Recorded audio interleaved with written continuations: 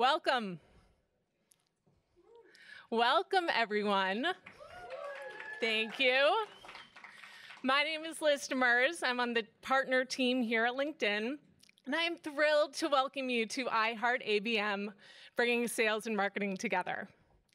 We have an incredible group of marketers here today. Thank you so much for coming to spend some time on this Monday of Valentine's week. I see some panic in some of your eyes. Yes, Valentine's Day is on Wednesday. Please don't run to your florist. You have some time. And for those of you who don't celebrate Valentine's Day, being a Hallmark, Hallmark holiday, it is also my birthday on Wednesday. So feel free to celebrate that. But no, no, no, you don't have to get me anything. Your presence here is present enough. We have an incredible afternoon of content for you. We're going to go beyond the why of account based marketing and really dig into the how.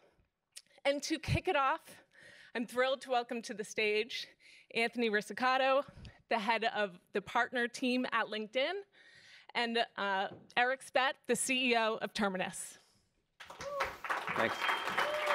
Um, it is Liz's birthday, and uh, it's very important to her. Just, just putting it out there. It's very important to her.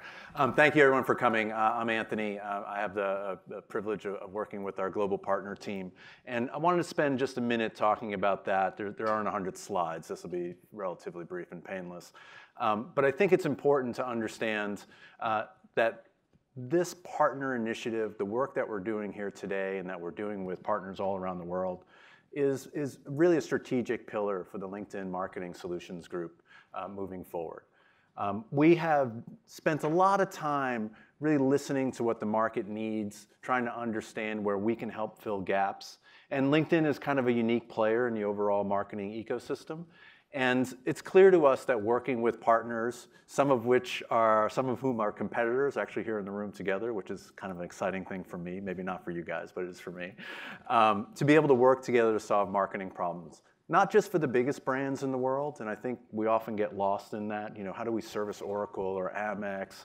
But for all of the brands, who need to be connected to their consumers, to their customers, to partners. And that's really the underpinnings for the, uh, the global partner teams. We operate in Latin America and Asia Pac and EMEA and North and South America. And as I was coming in this morning, it, I'm kind of a crazy Olympics person, um, which is kind of an odd thing. But like any Olympic sport, I'm just nuts about suddenly. Like I watched the entire biathlon, like three hours. It was two different races. Like it's crazy. Um, and the, the thing that excites me about it is that the power that the Olympics has to convene efforts and people and sort of cuts cross purposes and across all segmentations. Everyone comes and shows up. North Korea and South Korea showed up together to march together, and that's kind of heroic and exciting. Now, I know we're talking about marketing, maybe not quite as heroic as that, um, but some of the things that we're doing here today of bringing people together are really important to our ecosystem. You know, LinkedIn is proud to be a, a player in what I like to call a clean, well-lighted space. You know what you're getting, we're transparent, you understand what, what's in it for us, what's in it for you. Um, and our ability to bring partners together to, to interact with our unique membership, our unique marketing opportunities is pretty exciting.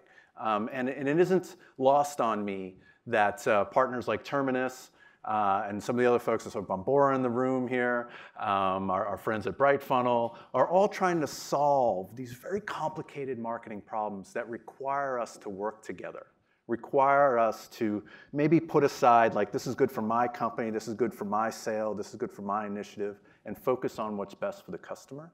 And that's really the heart and soul behind the LinkedIn Partner Marketing Organization uh, around the world, and super happy to have all of you here today.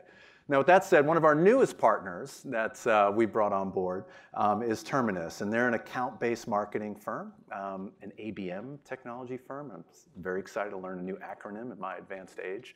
Um, and ABM is the next new thing that we're going to be learning about today. I'm thrilled. I've had the opportunity to spend some time with Eric and his team, and I've drafted off of that enthusiasm in many meetings. So I'm super excited to welcome Eric Spett, CEO of Terminus, to stage to kick us off for the iHeart ABM. Hello, everybody. How we doing? There we go. That was a lot of enthusiasm. I want to start by acknowledging that Anthony has a way cooler picture than I do. So I'm going to be working on that. Um, but I would really like to start first and foremost by thanking everyone who has come to join us today for being here. It is so awesome to see this many marketing and sales professionals fired up about ABM and learning more um, about how to do it and how to operationalize it. So we're going to talk a lot about that today. Uh, to echo what Anthony was sharing is it's really incredible what the team at LinkedIn has done. And so we have had good contacts and connections with LinkedIn uh, since the beginning of Terminus, and we've tried to build integrations and partnerships in the past.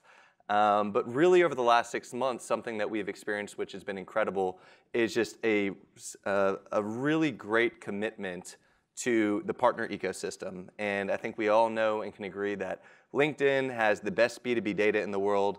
There are great advertising products. And um, what a lot of B2B marketers have been looking for are better ways to operationalize it. And so, uh, what has changed in LinkedIn and what we've experienced has been really, really incredible. All of the advertising products are now being built API first. And events like these are just showing LinkedIn's commitment to uh, partnering with companies like Terminus and many others, and ultimately just providing the best tools for B2B organizations. Uh, so we're very excited about that. A big thank you for LinkedIn for hosting the event today. And uh, for those of you not familiar with Terminus, we are the category leader in account-based marketing. And so we help hundreds of B2B companies and thousands of B2B marketing and sales professionals implement and execute account-based marketing. Uh, like so many, we have been through our own journey of this. It certainly has not always been easy, and um, many times it didn't feel like there was much light at the end of the tunnel. And so you'll hear some of this today, but one thing that we're very proud of is over the last 12 months, uh, since implementing our ABM program, we have improved conversion rates from first demo to closed won by 124%, meaning that every single dollar in our pipeline is twice as valuable as it was a year ago. With that, our ACVs have grown up by 35%. We've shaved 20 days off of our sales cycle. And now our mission is to help everyone in this room, together with LinkedIn, educate about exactly how we did that because there were many points where we thought there was going to be a mutiny in the company. There's a lot of change. This stuff isn't easy. There's no real playbook for it. And so we are proud of the work that we've done. Again, it's a journey, so we're still uh, working through things every single day. But that's why we're here today, is to talk about the how and to help uh, educate everyone in this room on, on how to be a great ABM practitioners and great ABM organizations. And so with that, um, just a quick question to introduce our first speaker. Who is familiar with Flip My Funnel or has seen ABM described as a funnel upside down? All right. So we are thrilled to announce our first speaker today, who is uh, my co-founder at Terminus, one of my co-founders at Terminus, Sangram Vajre. And uh, just a quick story with Sangram on how Flip My Funnel came about. So he was at the Martech conference a few years ago. He came back into the office, super fired up. And this is not a pocket square, it's a napkin and he had a napkin with a triangle drawn on it. And uh, just was sitting on the plane. Maybe he'll share a little bit more of this, but realized that um, this was the simplest way to describe ABM and to help companies go from a focus on quantity to a focus on quality. And so, with that, um, we've been through a lot of journey into account-based marketing, and Sangram is going to share the top 10 lessons learned for ABM success. Thank you, guys. Awesome, dude. Fired up. This is fantastic. And what a location, what a facility. I cannot imagine that this is where we're doing this event. This is fantastic. So, LinkedIn, again, thank you so much for having us here. So, 10 lessons that we have learned from an account based marketing perspective. And I cannot imagine being here and talking about this like literally a year or a year and a half ago. At that time, we are still helping marketers understand why ABM is important. So, raise of hands, how many of you guys are actually doing ABM? Wow, almost like 75, 80%. Now that wasn't the case a year ago. And that, that has really changed. So for us, as Eric mentioned, that has changed for us quite a bit internally as well. So for me, I've been a marketer through and through. Before this, I ran marketing at Pardot, which went to the acquisition of Exact Target and Salesforce. And at that time, I realized we, we had the same challenge. And this challenge hasn't really changed for the last decade and a half of how marketing proves the value. Um, how many of you guys are in marketing? All right. How many of you guys are in sales? All right. So I would say that we all are in marketing and sales. right? At the end of the day, if you're in B2B, we all are in marketing and sales. There's no other way to look at it because at the end of the day, if marketing doesn't do what they need to do, the sales team is not going to be successful. And if sales don't do what they do the best, marketing is going to get fired. Right? If they don't close the deals, market is getting fired. No ifs and buts. No matter how good of a job you do as a marketer, it just happens, right? So the idea of sales and marketing to be too different is just not true anymore. If you really dig deep and figure out why things are not working, we'll figure out that because the alignment between sales and marketing is not working as well. So today, that's what we're going to talk about how we at terminus we have changed certain things and how we're looking at it. But as eric said with hundreds of customers we have just realized that there are lessons that we can share with everybody as to how amazing organizations are doing account-based marketing right? Um, i also have started a crazy daily podcast. So if you guys want to learn and kind of be on the journey with us as to like how we're doing it, and we're talking about it for 10 minutes almost every day, we're like uncut. We're just talking about the challenges that we're facing, and we'll literally bring in a sales leader or a marketing leader and saying, what's the challenge today? What are we trying to do, and how are we solving? So it's literally an unfiltered way of knowing the journey of how we're doing account-based marketing and sales. All right, and this is I call it dumb luck. Um, in 2015, I ended up writing a book on account-based marketing, and Wiley published it. And, and I feel this book is synthesis of almost 50 plus thought leaders out there in the marketplace trying to learn and do account-based marketing. So if you're new to account-based marketing, just stop by later on. We have copies of the book, and you can just uh, grab, a, grab a copy. Uh, but this is what, what Spett was mentioning about, the flip funnel. So I'm not going to spend more time on it, and I'm so happy I'm not quite honestly, because I've talked about it for like two years, and it feels like I need to have a different talk track. Uh, my wife and kids were asking, like, is there anything else you talk about? And I, I, just couldn't give them a good answer. So I'm really excited to talk about other things than what Flip My Funnel is. But at the highest level, it is challenging the status quo and the conventional wisdom around B2B marketing and sales. So the flipped funnel is a better way. And, and people recognize that. If it has to be a funnel, let it be a funnel, but let it be a better way of doing it. And at, at very fast, it's literally identifying the best fit accounts, then expanding your reach within those accounts so you're reaching to the right people in those accounts, then engaging people on their terms. As opposed to just emails and calls, we all engage on so many different ways and so many different layers. We need to be engaging people on their terms, turning them into advocates, and then finally measuring success. And what I'm about to share through the 10 different lessons we have learned is how you can do account-based marketing in your own organization. All right, you guys ready for this? All right, well, let's do it. First question How many of you have, and hear the question carefully, how many of you have lead executives on your sales team? Lead executives. It's not, yeah, it's we all have account executives on the sales team. Nobody hires a lead executive. If you think about it, for 15 years, marketers have been sending leads to sales and saying sales don't get it.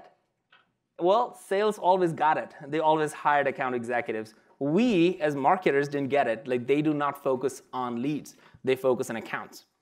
So it was a big change and revelation that, wait a minute, we are behind the eight ball. We are not trying to understand how sales works in B2B. And the fact that we don't even have the same nomenclature really makes us think like, wait a minute, where did we miss? So to me, we don't close leads. We close accounts. So yes, there are people, and we want to kind of engage with people on their terms. But at the end of the day, it's an account-based approach. That's how a salesperson things about closing a deal. If you tell you're not closing Jen or Sally or Sangram or anything, they're closing LinkedIn or Coke or AT&T, like big companies. And in companies, there are more people in the decision-making process. So that particular idea hopefully makes the point that ABM is here to stay and is the best way to get sales and marketing alignment. Make sense? All right. So 10 lessons. Number one, be brave. You might say, Sangram, what does that mean, right? Um, so the best way to put that out, I had to call in my son. Uh, he's seven year old. His name is Krish.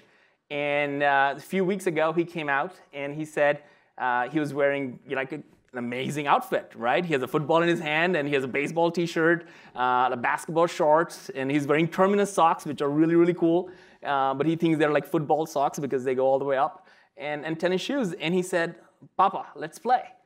And I'm asking, like, what game are we gonna play? Because I'm confused uh, here, right? And he says, anything is possible, right? And I, to me, I want, I want to be like Krish when I grow up, right? Because that's the, that's the idea. He had this innate sense of like, anything is possible, things can change, and it doesn't have to be the same. And if, it, if that's how football is played, let's just come up with a new game, right? He's ready for that. So for me, what, what it means for Be Brave as a marketer, now this is really important is taking charge of accounts. If in your organization, sales team is coming with the list of accounts to market, that got to change. In modern organizations, what's happening is sales is helping, but marketers are the one who are taking and coming up with the list of accounts to go after. So that is a big change, and that might take time, but that's what challenges the status quo mean. And more importantly, we all share the responsibility to teach others how account-based marketing is going to work. So we're going to go in deeper in it, but being brave really is that you're going to do something in your organization that hasn't been done for the last decade and a half. So you have to be brave because you're going to come up with new metrics, new way to measure, and new way to talk to your organization. Second one, form one team. You might say again, this is one of those things like hashtag one team sounds really cool, right? And, and sales and marketing coming together. But when we saw that, like Peter and Todd, who run sales and marketing at, Terminus, they both are seven feet tall and they do high fives. And I'm barely trying to kind of get in there, my hand in there, but I never get a chance to get there. But they actually are pulling together a true one team. It's a 100% transformation of our organization. And what's interesting is that they're not just talking about one team running around in the organization and saying, hey, we are one team, we are one team. They actually mean it. And here is what I mean when I say what they mean it. They have a mindset that this is how the organization should work. They believe that there's only one scorecard. Now, how many of you guys go in a sales and marketing meeting and spend the first 15, 20 minutes figuring out who has the right number? right? Like I can hear it, right? There you go. We have that challenge. Like the days of figuring out who has the right number has to be kicked out because that's where the challenge is. That means that we both are looking at things differently. And when you do, then half the time will be who's right, who's wrong, as opposed to what's right for the customer. And that's what ABM really does. So looking at a similar scorecard, and I'll give you an example of that in a little bit. And also, you have to operationalize it right? Just saying one team and figuring out, hey, we are together and you know going to beers out after after the whole day. It's not one team. One team means you have operationalized it where you know what's working and what's not, and you're able to talk about it. If you do this, if you do this, this is what will happen in your organization. And these are real quotes from real people. So Todd, and he looks just like that. Uh, he said, "Fire me if this doesn't work." Now, note this he didn't say fire the marketing team. He didn't say I have to get the marketing team to do something to get better. He said, fire me if this doesn't work. It's a real quote. Peter, who's the uh, head of marketing, nobody's asking him how many leads you have generated this year, or this month, or this day, or this week. He's thinking about engagement and figuring out, and I'm going to talk about engagement and what that means in a little bit as well. And the best one of all is Lucas, who is our VP of Sales Development, he's saying that four hours of every single day that their prospecting is happening in his team, that person is saving four hours every single day. Now, how many of you guys would like those kind of quotes in your organization? Right? I want to see it every single day, right? And that changes, right? So that's what you will find if a true one team really comes together. But that's hard to find. And that really starts with the leadership.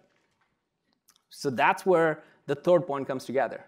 I wrote a blog post about this uh, like a few months ago, and, and Snowflake was one of the reasons why I wrote about it. It was because the CEO of that company was bought in.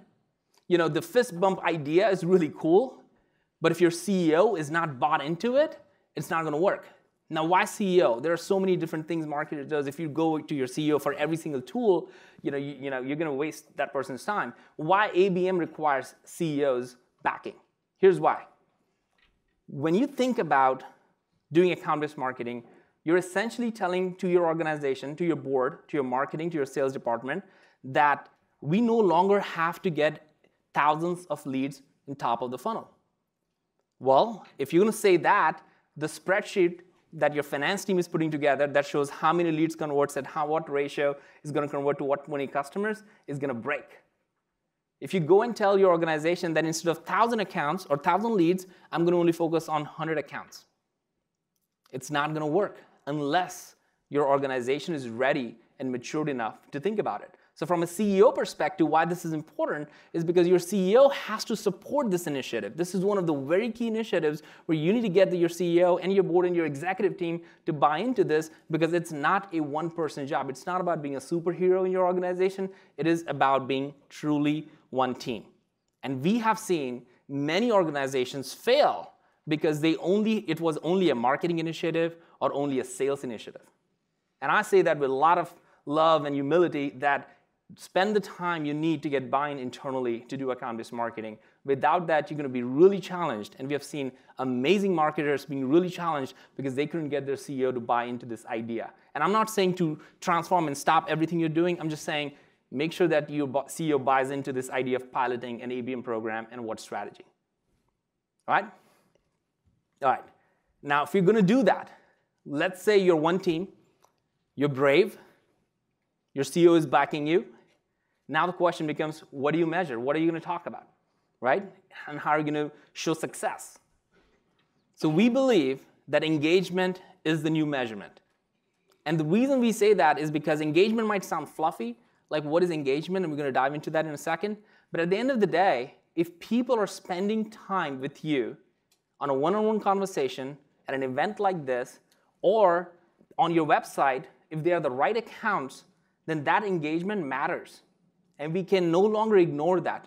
The number of downloads, the number of leads may not actually show the actual validation that they're interested, but if they're spending time with you, that clearly shows that they're engaged and they're interested in what you have to say. So engagement, we believe, is the new measurement. Well, if it's a new metric, you need to stop doing certain things in order to do some new things. I firmly believe that. Because what I've always happened is, um, whenever we try to do new things, something else falls off. So we have to make this conscious choice of what I'm going to stop doing and start doing. Now, in my family, uh, my wife and I would share, and we'll always talk about, all right, if, you, if I'm going to run an errand, or if I'm going to buy something, then what am I going to buy, and what is she going to buy? And sometimes, for holidays and things like that, I mess up. Um, I try to buy the wrong thing of the wrong size from the wrong store for all the wrong reasons. And, and she would always have this list for me saying that, well, here's exactly what you need to do, and I'll still mess up. Um, and the greatest part that I feel that I can do based on the stop and start, I always tell her what not to buy. Give me that list because I will be better off when I know what not to buy too. So she will always help me with, well, here's what you gotta buy, but here's what you don't buy. And that helps. But in organizations, when you have so many metrics that you're measuring, you need to know which one to focus on. Here is an example. I know it's an eye chart. You can, you can take a photo of it if you want to, to just kind of have, have it for you. But this is an example of a scorecard. The most important part of this scorecard is the idea of tiering. How many of you guys do tiering in your accounts when you do account-based marketing? All right, I see some of you guys. I think if you want to take anything from this presentation, outside of my kid being super brave, uh, is the idea of tiering this, this idea to, to make sure that you're focused on the right accounts is incredibly important. And you can't do the same thing to each and every account. That's saying that every lead is equal, every account is equal. That's not true. If you're selling to an account that's half a million dollar deal and there's another account that's $10,000, you cannot do the same tactics. You don't want to do the same tactics with each one of those. So tiering accounts really helps you figure out what to focus on and then you start measuring. If you look at all the different ways you can measure you can really look at engagement per account. So tiering becomes a really, really good way to measure it. And this is the scorecard. It's an example that you can go to that sales and marketing meeting and show, here's what we're measuring. Here's what our engagement looks like in tier one accounts. Here's how tier two accounts are working. Here's what we plan to do in tier three accounts. Your sales and marketing team now can start from a common place, not based on leads, but based on the accounts you want to go after. All right? So I want to add to this part, and this is this gets me excited, fired up, big time. ABM is more bigger than demand generation. I feel like marketing has been boxed into this idea of demand generation. How many of you guys feel like marketing is your job in your company is demand generation? Almost, almost everybody, right? So here is the seven strategies that we put out there. Another very quick review on this one is marketing doesn't have to focus on demand generation as the only way to run marketing. What ABM allows you to do is focus on beyond demand generation. Let me give an example. Um, let's say almost every single organization has pipeline challenges. And if they don't, if they're smart enough, they will figure out a pipeline challenge because the more efficient your pipeline is, the better your business is. That's the health of the business, right? So let's say your pipeline, you have a ton of pipeline and your win rate is, let's say, 20%. And if you can improve that win rate by five more percent, that could mean millions of dollars for your organization. It's a perfect use case from an ABM perspective because the accounts are already identified, they've already raised their hand and said they're ready to buy. They're going to buy from you or they're going to buy from your competitor, and you already know what the sales cycle looks like. So you can literally go to your sales team and say, hey, I want to do a pilot program on our accounts that are in pipeline that you're going to close in the next 30 days, and let me work with you to figure out how do I engage with them on their terms. Another example is upsell and cross-sell. Um, how many of you guys have more than one product that you sell? Ton of you guys, right? So those accounts are already identified. So you can literally run an ABM play on those accounts to upsell and cross-sell to different business units within the same organization. So what ABM allows you to do as a marketer, and this is what gets me really excited, is it allows you to have a broader conversation in the organization to drive revenue. Cool? All right. This is another big part of it. If anybody felt just because we're here, we're at LinkedIn, um, Terminus is here, and if anybody thought that advertising is the only thing that ABM is all about, you got it wrong. And, and we've done a, we haven't done a good job of sharing all the different things today. So at the end of the day, you shouldn't feel advertising through LinkedIn and Terminus is the only way to do ABM. As a matter of fact, when we started early on, I created this chart, just like a year old, where we mapped out all the different strategies that we did from a marketing perspective. I bet you guys, when you go back and if you want to do this low tech to low touch to high touch, high tech to low tech, and say, what are all my strategies that fit in each one of those? You're going to find that there are a ton of things that you do as a marketer. Ton. But not all strategies are equal. And when you go back to the tiering of accounts, you don't want to do the same strategies. You don't want to necessarily have the same level of involvement with all the accounts that you are tiered. So when you think about tactics from marketing and sales perspective, we need to focus on the right strategies and the right tactics. Now, seventh, data driven. You might say, well, Sangram, we get it. It's exciting. There's so many different things, but how do I do it? So Peter, who runs marketing at Terminus, came up with this incredible idea of how do you operationalize ABM. And it's very simple. Fit, intent, and engagement. Idea is find the right accounts, see if they're surging, and then start engaging with them. And I'll give you a real our tech stack as to how we do that. And we're going to just expose for the very first time our own tech stack so you can see how we do account-based marketing. This is Terminus ABM tech stack. You remember all the five stages for flip funnel, identify, expand, engage, advocate, and measure. And as I just said, if you came out of this meeting, this, this today, and said that, hey, we, we need to use Terminus or we need to use LinkedIn to do it, and that's all, then we definitely didn't do a good job of educating uh, on many different things. We ourselves use 20 plus tools to do account-based marketing, but we do it in a way where we know what we're trying to do and which accounts we're going after. We're trying to identify the right account, we're trying to reach within those accounts very specifically through all these different channels, we're then turning them into advocates, and then we're measuring success in a very clear way. It allows us to create that scoreboard and share that in a very profound way. I'm going to skip through, through this one real quick in interest of time, uh, but there's an idea of doing ABM in sprints.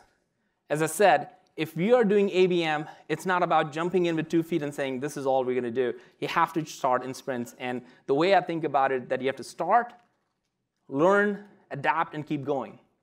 I remember when Peter came on board and he said, hey, we're going to do this thing we said, well, um, all right, what's the plan? And he said, here's the plan, but let me tell you, in five days, the plan is going to completely change, and then we're going to figure out what's going to work, and we're going to focus on that. So the idea is to start somewhere. And ABM could be very crazy, where you might think you need everything in the world, but you need to kind of really focus on what do you want to start. All right, so I want to kind of finish off with this thought. Of at the end of the day, all we're doing is for customers. And if you want to make our customers hero, what would we do? So I came up with this uh, chart um, almost a year ago, right before Christmas, and, and I said, well, if I want to be emotionally involved with this idea of customer heroism, I need to kind of figure out a way to do this at home. So I essentially invited my wife to be part of it because I don't want her to ever fire me. Um, and, and I want her to know that I love her and I want to figure out what works, what doesn't work um, in 12 years of marriage. So I put her at the center and I went through this exercise with her. Was very excited, and I started with like the basics. Said, "Oh, I'm gonna do, you know, how about this? Like, I'll, I'll clean cars, I'll do pay the bills, and, and, and do all the basic stuff." And, she's like, "Yeah, please do that. Like, I don't want to worry about that." I'm like, "Okay, that's good." And then I got courageous, and then I said, "Hey, and uh, what do you want uh, for Christmas?" And she said, "12 years of marriage, you don't know what I want? Like, what's wrong with you?" So that didn't really go well. So I like I had to dig myself out of that and figure out what do I do now. So then I said, well, you know, what about this? Like she works, I work, we both work. So over the weekends, I try to be mom and dad and give you some space. And she said, ah, that's a must do. That's, that, that can have real impact on our relationship. like, well, that's good. I'm again reemerging, uh, having some confidence here. And then um, she said, hey, you know what? Uh, you know, I'm the best dishwasher, by the way, in my house. Uh, there's no better, better person who washes dishes better than me. And, but I have a problem of like waiting until the very end uh, of the day. And so it all piles up, and she hates seeing a piled up sink. So whenever she's out, if I can wash the dishes when she comes home, doesn't see it, it'll be awesome. Okay, I can do that. But what was very interesting, and it's, it's, it's probably really relevant now, is she said, hey, when you get me flowers on a random Wednesday, is the best thing. And I'm like, you don't even like flowers. And she said, well, it's not that, it's the thought that you care enough about me and that you would do it on a random day, right? So if you think about all of these and say, you know what, I want to put my customer in the center, and I want to focus on that. And, and you might be doing all kinds of activities today to kind of engage with them on many different channels, and you might be able to engage with them so well that you might think that there is something really interesting here, and your customer might care about you. But at the end of the day, if all these tactics that you're doing that may or may not work, the question for you really is, and that's what I want to leave you guys with today, is this. What if, what if you stopped everything doing in this quadrant of should do and low impact? And to me, that's what ABM really is. You might be sending a ton of emails, you may be having a ton of communications, you may be doing writing a ton of blogs, but if that's not reaching to your customer, then is that worth doing it? And then the bigger question is, what if you really started to focus on the big ideas, the things that really matter to your customer? What would that do? What kind of programs would you run? How would you tier accounts? Instead of waiting on every single lead to come in and, and come in the funnel, would you actually focus on a few? And if you did that, what kind of content will you create? It, will the content be more specific, more personal, more human, uh, more relevant? Or would the content be just a generic content? What will happen? So I'm going to leave you guys with this today is at the end of the day, ABM, the whole idea of sales and marketing together, one team, being brave, uh, making sure you have buy-in from your entire organization, especially executive team, all of these come down to a really simple thing, and that is, do you really care about your customer? That's it. Thank you.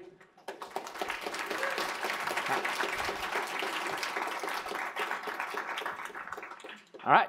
So I'm super excited to introduce a real dear friend of mine uh, for the next session. So um, I know Craig Rosenberg, and uh, most of you guys probably know him. He is the chief analyst at Topo. And Craig and I have been known each other for probably three, four years now. And what's interesting about Craig is, and you'll see in his presentation and everything as he does, is that he is he has incredibly amazing ideas around how things should be done and he's very data driven that allows you to kind of recognize what works and what doesn't. And if you are looking for true use cases of how account-based marketing is done at all levels of organization, this is your session. So please help me welcome Craig Rosenberg. All right. I didn't know what to do. That intro was so great. I wasn't sure if I should wait and then walk up, or I had to come and like look at him like that as he did. I did the other. By the way, I do Sangram. The most important thanks I can give you is that you skipped the picture of me. I really appreciate that. I hope nobody caught that, and I just want you to know if you did, the camera adds 45, 50 pounds, and just weird skin coloring and bloating and stuff. I'm not sure where you got that picture, but it was brutal. So anyway, I'm really excited to be here, you guys, and uh, it's a big crowd. It was fun, you know. You, you know, I do this speaking circuit thing, and I love watching the the, the crowd roll in and things unfold. I knew this was going to be big. It's a lot of people here today, and it was really cool when Sangram did the hand pull and everyone's um, jumping off the, uh, jumping into the account-based pool. And so it's, I'm excited to talk about it because I've been talking about this thing for two and a half years, and it's so different now when you go to conferences or you know any of us who have been in the game. You go talk to customers, prospects, you go to events and whatever. How much we've all evolved as we started to wrap our hands around account base. So anyway, it's, uh, it's, I'm really excited to be here today. So what I wanted to do was talk about a few use cases here that we've seen over the last year. I'm going to also give you some my take on account base, and then we'll talk about um, some of the cool things that we've seen people do throughout the year. So, um, well, I, that was my intro to my intro. So the first, we'll talk about Topo and myself. Uh, then we'll do a quick intro to account base. There's four use cases now after uh, great deliberation pre-presentation, and then it says discussion throughout the presentation. That's wrong. That just means if you no longer want to pay attention to me and just want to kick in your own discussions, please feel free. so anyway, let me tell you about Topo just for one sec. So the reason it's important is A, I got two sales guys here who want to sell you stuff. Wink, wink. I'm just kidding. Oh, three. I just saw the other one. No, actually, I just want everyone to know what our background is. So we got, we study high growth companies across marketing, sales development, and sales. And then, you know, uh, we, we have a variety of products that spin out of that. So we have playbooks where we come in and have a consulting team that can work with you. We have advisory and membership, uh, annual, uh, it's an annual deal with us where you can come in and have our analysts work with you based on the data that we're finding. Then we have uh, big events as well. The sales development, demand gen, sales background of the company that maps to mine. So I'm the chief analyst and co-founder of the company. My background's in sales and marketing. I just saw uh, a customer walked in who's a CMO at a sales tech company. Said, "Oh my God, you talk about everything." And uh, it's, you know, it's just one of those things. I've, my background has been across the entire funnel. I think that's really important as we talk about account-based. I'm not in the micro marketing ivory tower, right? I'm in the real where I, on Friday I had three meetings with sales leaders and today I'm talking to marketers. That perspective is gonna be really important as we continue to talk about account-based. So let's talk about my view of, of the world on account-based or our view, Topo. That, that was egotistical of me, but uh, you'll see. I'll throw in things about that make me look really good throughout the pre-sale. So the, um, when we launched into account base, this was about two and a half, three years ago. Well, actually, we launched marketing, and the, the, what we said was there's a bet here, it's a, and it's that the world is going to account based. It's easy to say now, right? What a great bet, but it, it's true. You know, we really, you know, as you, as you just heard from me, we came from sales, we came from sales development, we came from marketing, we saw this thing happening. And frankly, I think, you know, when we, when we did it, initially we went in and we said, well, what's happening today? And two and a half, three years ago, I think, you know, we all think of this as new, but actually we found a lot of programs that had been around for a long time. Did they call it ABM? Maybe not. Might have been just their enterprise or field marketing. Might have just been that they were very targeted. Now we've got this wrapper around it. But look, when we launched, we saw programs that were working. And what did we learn right away? What we learned right away is the most important thing I can tell you right now is that account-based ABM, whatever you want to call it, it's a business decision. It just, I, I know we got to do tests. I know we got to call it campaigns. I know that stuff. I get it, right? I work with customers all the time to do it. But this is a business decision that should come from the top or be confirmed from the top. And when we treat it like a toy or treat it like a thing or treat it like, you know, hey, we're going to go test that, we do all this stuff, let's go test out an ABM campaign. That's where it gets a little tricky, guys. Because the most important thing starts with the fact that we have determined as an organization that there's a targeted set of accounts that are better than others for us to go after. And we start there. I don't know what the number is for your company, but it's really interesting for a lot of you. It could be deal size, it could be close rates, it could be churn, I don't know. It could just be want. It could be a prediction, right? But the, the fact is, is that we are going to start with this idea that we are going to take a set of target accounts and then we're going to mobilize the whole organization anybody who touches the customer, and I have four here, but you know, product, exec, you name it, they're on top of this. And we are going to go and we are going to work together and we are going to coordinate personalized, high value engagement and then ultimately revenue and upsell at these targeted set of accounts. You know, when people ask me what's the biggest thing I learned, it's not in the data. In the last year and a half, I learned something really interesting, which was if the VP of sales and the CEO don't say, if you get us into those accounts, we got it, it's not going to work. It doesn't show up in the data, but it's true. Because we go in, there's all these weird things. You know, oh, let's go in account base so we can get better leads. Oh man, you're dead, right? You are. What you need is for someone to say, yes, these are the target accounts I want. You just, you get, you engage with them, you show me, you get us in the door, we got it. Now, granted, we're going to help, right? But that mentality is one of the most important things. And what that reflects is when we go into account based, it's got to come from everyone, right? So a lot of you guys run data to figure out your target accounts. That's great. But still, that the, the, everyone needs to look at it and look at the actual target accounts and say, yes, I get it and let's go. And that's part of what we're trying to do here. It's a business decision. It's a collaborative business decision.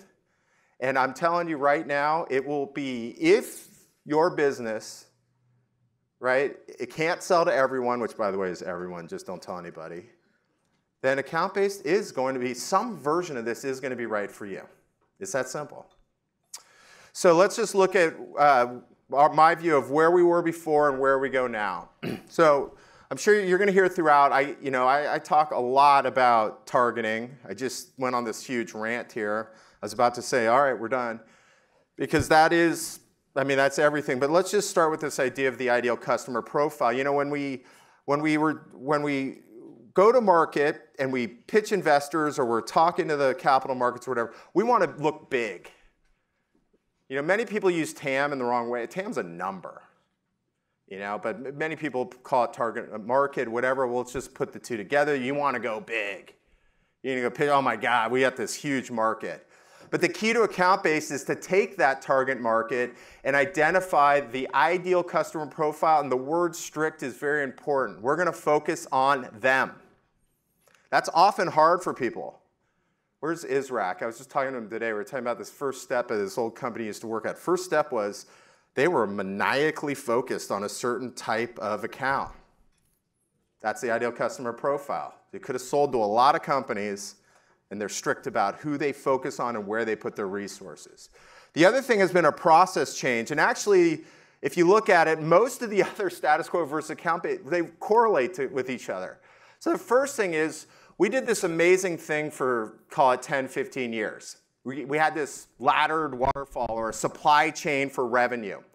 And we had organization, we broke the organization up and, fun, and functions would take what they did and they'd throw it just a little hop over this little wall. The next person would catch it, they would convert it, they'd throw it over a wall, right? That person would catch it, we throw it all, the, and we end up in account management or whatever. So, and that was good, by the way. Because anybody who's my age knows for a long time, it was just really hard to be a marketer. Because, I mean, it, it was, we, we just, we didn't have a scoreboard. We had to plead, we had to show, we had to say, ooh, this picture's really cool, right? And it was just really hard. Then we got a scoreboard, it was great, and this, this, this ability to break things up by functions was really powerful. But now we've got this targeted set of accounts, we're going in account base, and now we have to integrate. Now we have to say, well, we're going to break down the wall. We're going to take a common metric and we're going to go after it. That's different. Because I got to tell you guys, all in marketing, the, the great thing about the MQL, the lead, the inquiry, whatever you call it, was you were able to get something on the scoreboard. The bad thing is, was it defined our self-worth. We had to do everything to get someone to fill out a form. What the heck? So you get a, you know, we, we set someone up with an executive VP, they have a conversation, but they didn't fill out a form, so it's not an MQL, it doesn't count, right? That's why we're here. We're gonna figure out who these target accounts are, we're gonna knock down walls, and we're gonna get after it. And that's why organizationally, we don't wanna leave marketing in isolation, we don't wanna leave sales development in isolation, we wanna get all hands on deck and go after these guys. The tactics are changing, and that's partly what you guys are here to do. But on the other hand, I got to tell you guys, it's just a lot of the tactics you can use are just remixed into, into a more high value motion. The issue was, was that everything we did in a volume-based marketing program was to get the most people. And now we have to look at it from a marketing perspective and get those people. And when you think about it that way, instead of you know, something really big, a webinar, we want 4,000 people there. That 4,000 people doesn't matter unless X amount come from those target accounts. So with that, we have to figure out what are the best, most valuable ways that we can engage with those folks and how can we do it in an orchestrated way. A perfect example of that is you might invite people to that webinar, but instead of caring if they come, the fact that we have all these other motions that go along with it they ultimately might become an opportunity, whether they go to the webinar or not. Obviously, it's better if they do, don't get me wrong. So that's how we have to start thinking about our tactics. The final thing is, you know, it's on my, the theme, as I said, these are all intermixed. But the, the leads, MQLs, et cetera, that was the, the metric for marketing and demand gen. We believe that metric has changed, and it's what we call TAP, Target Account Pipeline. So not all pipelines created equal, otherwise don't do account-based. Because the most important thing I talked about in the front is we are going to determine a set of target accounts that are better than anything that we could possibly spend time on. What we want to track is how much of that pipeline do we create. And one of the, one of the reasons, this is awesome. Do you see how I did that? yeah. Um, so I don't know, what was it?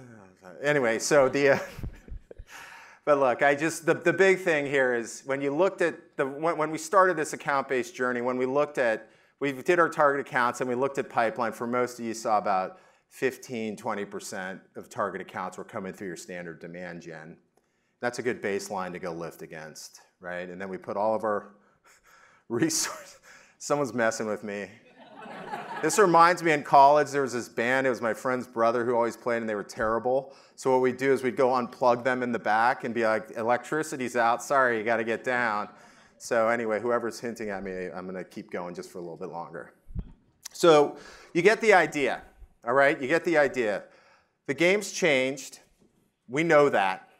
It's important for us to be thinking about the core things that we need to go do, which is target account pipeline and the funnel I don't have the same funnel as Sangram.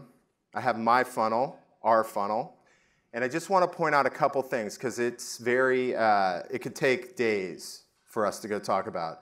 Which, if you're interested in, just talk to one of my sales guys here in the room. I'm just kidding. That was a bad joke. All right, so a couple things I want to point out. So one is everything starts on the left with the ideal customer profile, the ICP. That is everything. I keep mentioning it. What am I going to do here, guys? The other one is a target account list. You know, it's funny that uh, analysts on my team keep saying, the target account list is strategic, Craig. It took them a year and a half to convince me of this because I kept saying, no, it's not, it's a list. They said, and now I get it because the target account list in account based is your target market. You have to actually look at it. You got to get in a room. You can't just look at the definition. You got to go and look and say, yes, these are the accounts. The other thing you'll see is we knocked out lead. It doesn't mean leads aren't important. Please don't go tell us, say, Craig didn't say leads aren't. Leads are part of it. But as Sangram said, it's engagement, and its engagement starts at the top and rolls all the way through lifetime value, and that's very important. Because I'm telling you, we gotta, as marketers, most of you are marketers in here. I saw a bunch of salespeople raise their hands. Thank you for being here with us today. But the idea here is that marketing can add so much value to the entire process Okay, if we just think it selfishly, let's track that. If we just think about for the right thing for the account, we need that. right? Why would we hand it off to sales and, you know, and then they go through the process, they're getting yelled at by their regional sales leader, what, you know, where is it, where is it, where is it, instead of saying, across the entire life cycle, here's all the things we will do as a group in order to not just get them engaged, but to drive home business. The final thing I'll mention is account-based is about LTV. It's about expansion, it's about potential account revenue and, and hitting that. And for a lot of people in B2B, where it's net, you know, it was very net new centric. Everything we did was because we were reporting lots of net new, and then we let everything sort of sort themselves out on the back end, right? Instead of thinking about the entire life cycle. In account base, we think about the entire life cycle. And there's some really powerful stuff. I'll give you a use case about it in a little bit. Okay, so I can't spend a ton of time on this but I had to tell everyone we have an account-based technology stack. We just went through our account-based uh, tech research, and we're starting to put everything together here today. I figured I would show it to you guys, but not spend a ton of time on it. I will just mention a, a couple things. Uh, the, the, the stack in and of itself is actually, everyone tells me how daunting it is, I think because everyone's using account-based in their branding. But actually, when you take a step back and look at it, it's, it's, it's actually manageable it's manageable to go look at and figure out what you want to go do. Okay, so look, we can spend a lot of time. I'll just tell you a couple things. One is, uh, you know, infrastructure is starting at the bottom. There are new things emerging around what we're calling the account-based platform. It's what everyone has asked for that we have that sort of marketing automation for account-based. And that is, as the vendors are starting to lay groundwork for that, that should be really exciting for all of us as marketers. We believe the biggest issue, and you know, when I was telling whoever was today and wanted to do AI and wanted to do any of these fun things, is the data. The data is a problem, so it's not just about buying the data, but it's about how you make that data come together into one unified database. And then as we keep going up, you'll see we end up in tactics. Okay, so I'm not going to spend a ton of time on it. I didn't want to show it to you. A bunch of you took pictures. That's fine. But I did want to say that the two points on the on the stack the first thing you do in account base is you figure out the strategy and what you want to go do. The stack comes next. The stack can support most of everything you want to go do. Don't get me wrong, I am not one of those people are saying, I am huge into tech. The issue is, is you don't do it the other way. You don't call the ABM tech vendor and say, I want to do ABM. Can you, can you sell me something? You come in and you talk to them and say, here's our strategy, here's what I want to do, and I want to create a platform to support it okay? And it can be done. It's starting to really straighten itself out. It's really not that, I mean, there, there's not a lot on here. I could have dazzled you with the Brinker slide and had 5,000 things on here, but it's just not real. This is, we are coming, it's, this thing's gelling together and it's, it's very workable. All right, so let's do some use case. So what I did on the use, what we do on the, we have about 30 use cases on file. We keep adding them each week. It's been a really important thing for us is to is to take qualitative information because what we learn from the market is there's data, but what people really want are stories. The other thing we learned though as I started to present these is I have to protect the innocent. And so even when people said, hey, you can use our name, it still got a little true. So what we do is we have the use cases. I did flip, uh, you know, we, we do uh, take out some of the tools and mix it up so nobody can figure out who's who and what's what. The story's still the same. And the most, most of them came out recently, and so I just want to walk you through it. This fun stuff. So this one, literally, we just met with them a week ago, and uh, it's the story we saw across IT and security companies where they were getting lots of leads, lots of leads. SDR program usually was doing better, but in this, in this case, most recently, it was, uh, I think, you know, six or seven meetings a month, and sales hadn't hit quota in a long time. So when they looked at everything that they were trying to do, you know, we could go and say, well, it's, it's all account based, right? There's this big thing, there's all these levers we got to pull. But actually, the most important thing was can we just define our ICP? Can we just figure out who is going to be better than others? And when we look at the leads and we look at what converts and what doesn't convert, you know, what's going to come out? So when they did, they looked at and they saw ver- this, this ver- these verticals in IT and security and whatever have been across the board. I see this all the time where people sort of figure out a set of six verticals and they focus all of their efforts against that. And then we talked about tiering. So I want to encourage you guys on this. So someone asked me before, do you expect people to read this? No, but this is the most uh, tangible tool that you could take home with you because this is the next step for many of you. You define the ICP, and Sangram's point and his last thing was you got to tier it. You don't just got to tier it, you got to figure out what you're going to do against it. And that's where you start to have some fun and get really, really granular. And you start to figure out the life cycle against these accounts, and you have to do it against tiers. If not, you're crazy. I'll tell you right now, do this exercise. Go through, take the tiers, and walk through everything marketing, sales development, sales, CS. Figure out who's going to touch what, figure out what they're going to say, figure out how custom it's going to be, figure out how much you want to spend, all the everything. Just figure it out and just write it up on the wall. I guarantee if you don't think you want to uh, segment your tiers, you will then because you'll realize you can't do it all. You're to have to figure out what you want to do. For those of you who have figured it out and you know you want to go in tiered approach, it's not just about tiering. It's about creating a go-to-market that's different against each segment. So for those of you who are really enterprise heavy, right, and you want to go into the big, you're whale hunting, seven-figure deals, A is the place for you. You're going to be very, very custom. And you are going to throw the book at these deals. I mean, there's plays in here that should be wait in the parking lot until the buyer comes out, right? Leave leaflets in the parking lot. I don't know. We can talk about those guerrilla tactics later.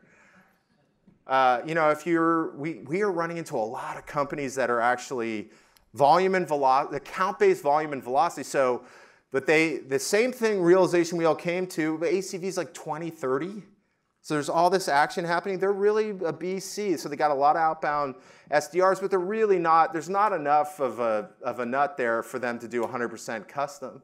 They can make really good decisions against the Bs and the Cs.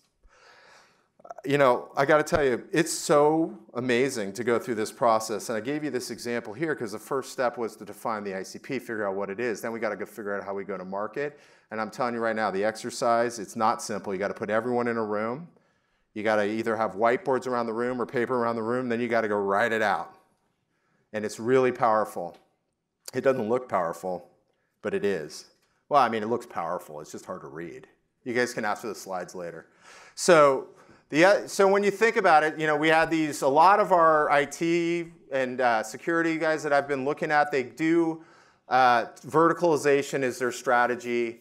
I'll tell you right now that's changing with intent data and engagement data, which you guys talked about before. People are using that to select who they're going to go after.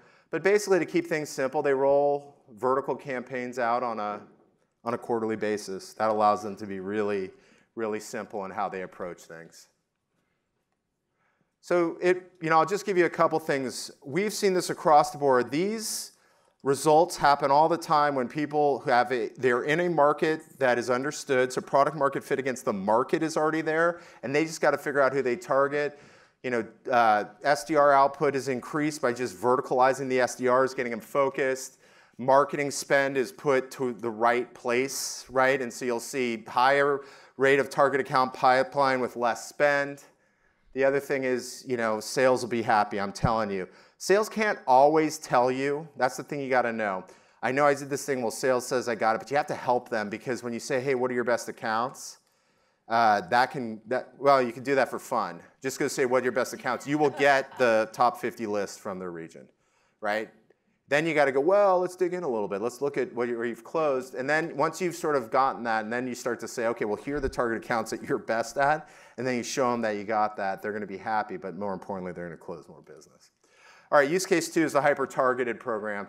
So uh, this one is one of my favorites because uh, not a ton of resources, very targeted. So for those of you who have a very tight target market, this was a CPG focused company. We're talking about 50 target accounts, really nine. Anybody who sold to CPG, you know the drill, right? There's nine. Maybe you'd probably tell me there's not even nine. So you had big numbers to hit, but you've had uh, not just big numbers to hit, they had big numbers. They were getting lots of leads. SDRs were doing like 25, 30 meetings a month with nothing to show for it. That's crazy. 25, 30 meetings a month, and they had nothing from it. So you go in, you look at the numbers, we can benchmark what we want, but the, the benchmark of the meetings was fine, as the benchmark of the conversion was terrible. Marketing was getting lots of leads, nobody was working with each other because everything, the easiest place to go was outside the ICP. It was way easier to get numbers if you didn't go after the top 50 or 9.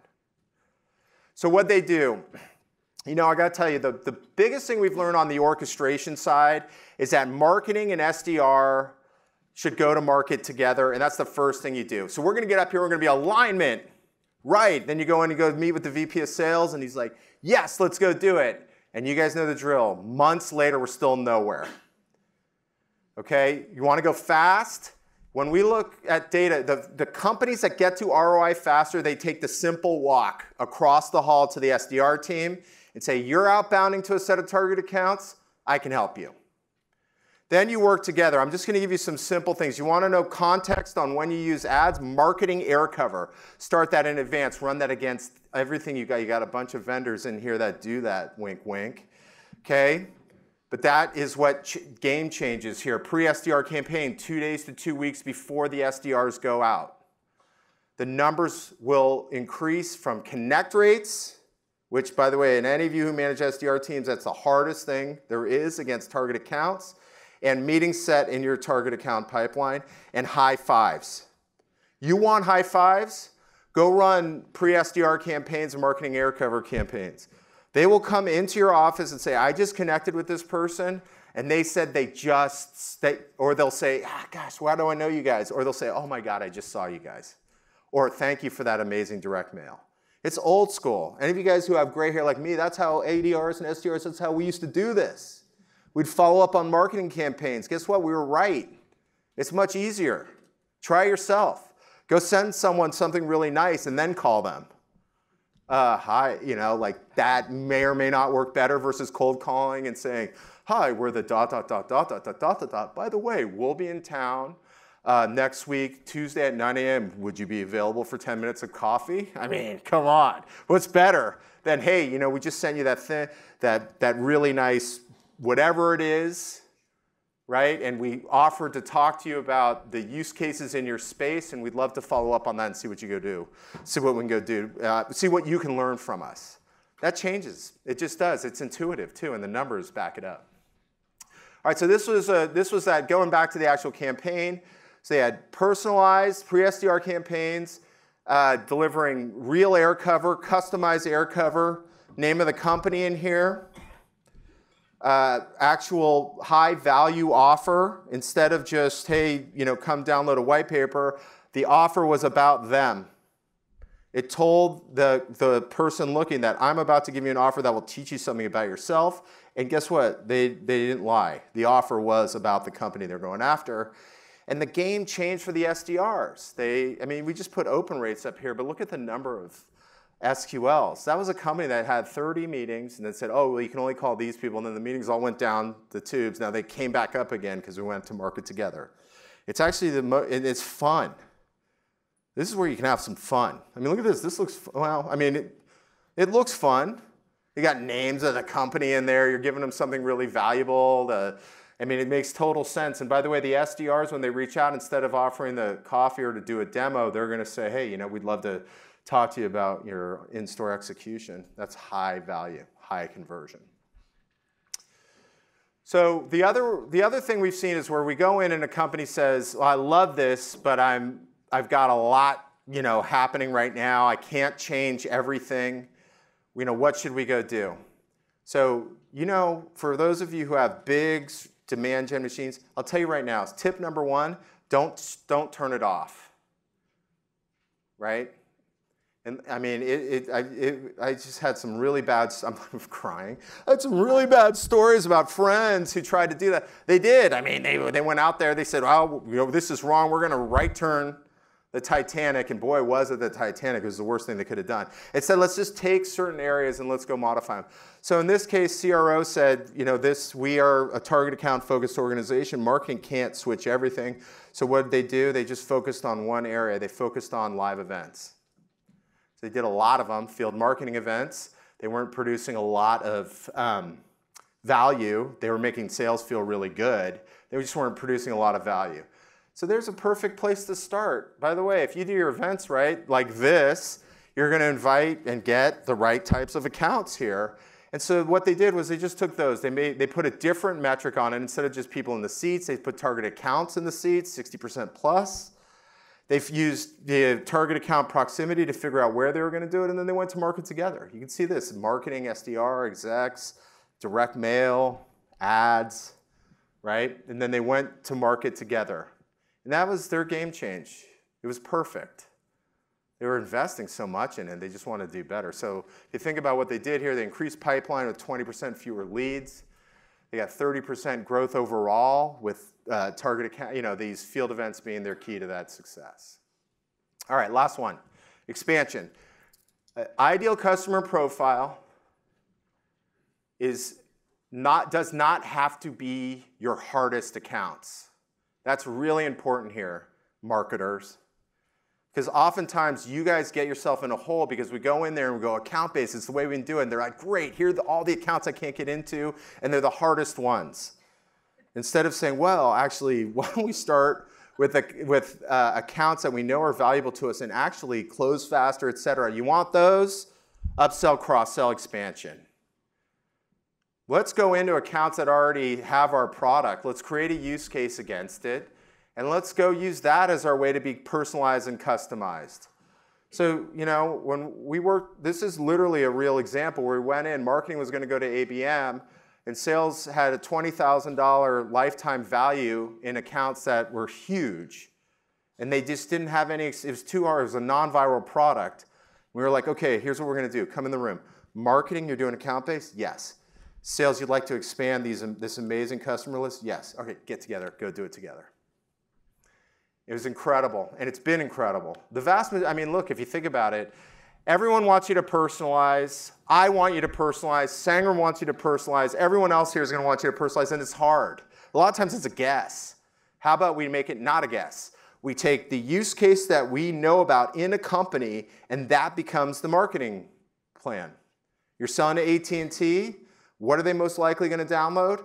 A, conver- uh, a content, conversation, etc about what happened at AT&T. And it's there for you. It's there for the taking. It's really powerful and it changes things. We've seen uh, expansion-only SDRs, expansion-only demand gen folks that are just focused on that, and certainly expansion-only account-based programs. So, you know, the end of the day, I'll just tell you this. You know, I tell people the numbers on expansion, but it just makes total sense. I mean, I could tell you this all day, but like, come on. You go in, you want to go land and expand. You have this asset that's at your fingertips. Here's what we did in Des Moines. I'd love to do it here in New York. Let's go talk about it. If you just change the SDR pitch, you'll win. If you, eh, I mean, so why, why make it hard?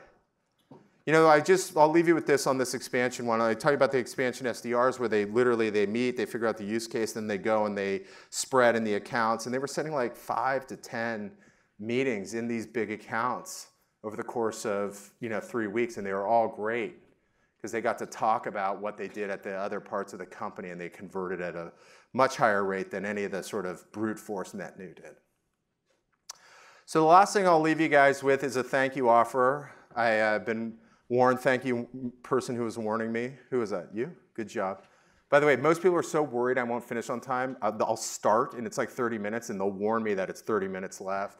So anyway, I made it this time, but anyway, if anybody wants the account-based funnel, just so you guys know, sales did have sales at Topo HQ on there. I changed it, don't worry, you can go to the analyst team, we'll give it to you. But you may get a call in a 12-point cadence. No, I'm just kidding, no, you'll all be fine. And just say, send me the account-based funnel or anything else you want from these slides. I just want to thank you guys for today. I'm going to be here the rest of the day. I don't know if that matters to any of you, but if so, we can talk account-based the rest of the day, all right? Thanks a lot, everyone.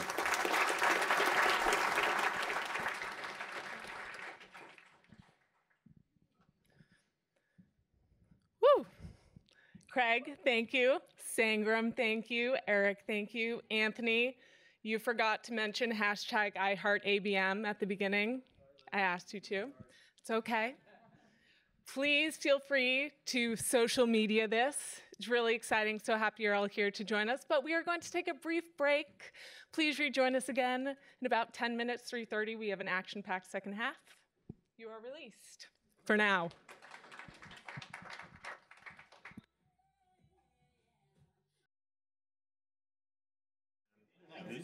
Yeah. Are we supposed to mic up yet, or the person will come and tell us? All right, we are going to get started here in just a moment.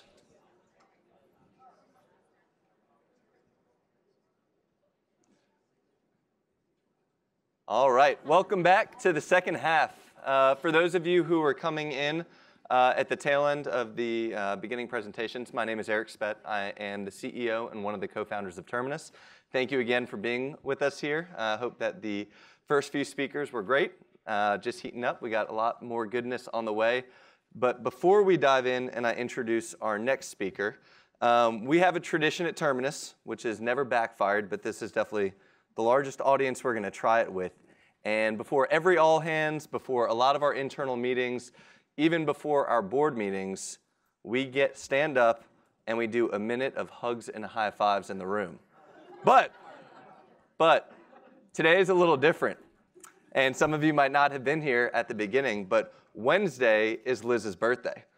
And Liz has put a tremendous amount of work into making this event possible for all of us and is our wonderful partnership manager at LinkedIn. So rather than doing hugs and high fives to warm it up, let's all stand up and sing Liz happy birthday. Everybody ready? One, two, three. Happy birthday to you. Happy birthday to you. Happy birthday, dear Liz. Happy birthday to you. There we go. All right, now give everybody one high five quickly, whoever's next to you. All right.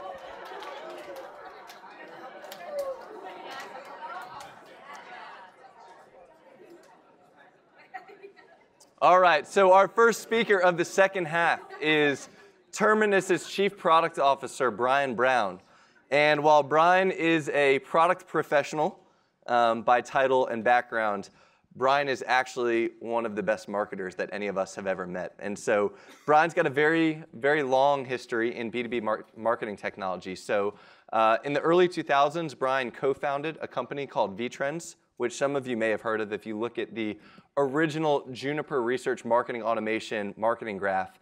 Vtrenz was this gigantic sun in the top right, while Marketo and Eloqua and Pardot were little specks in the middle. And now uh, Vtrenz was based in Fargo, North Dakota, and didn't take on uh, lots of venture funding, so the landscape changed. Uh, but Brian did have a very successful exit to Silverpop, where he led product strategy through their acquisition to IBM, where he went on to lead product strategy for all of IBM's marketing technology um, investments and acquisitions. And so we're very lucky to have Brian here today with us. He's going to tell all about our integration, Terminus's integration with LinkedIn, which will be available in the coming weeks. So let's give it up for Brian Brown.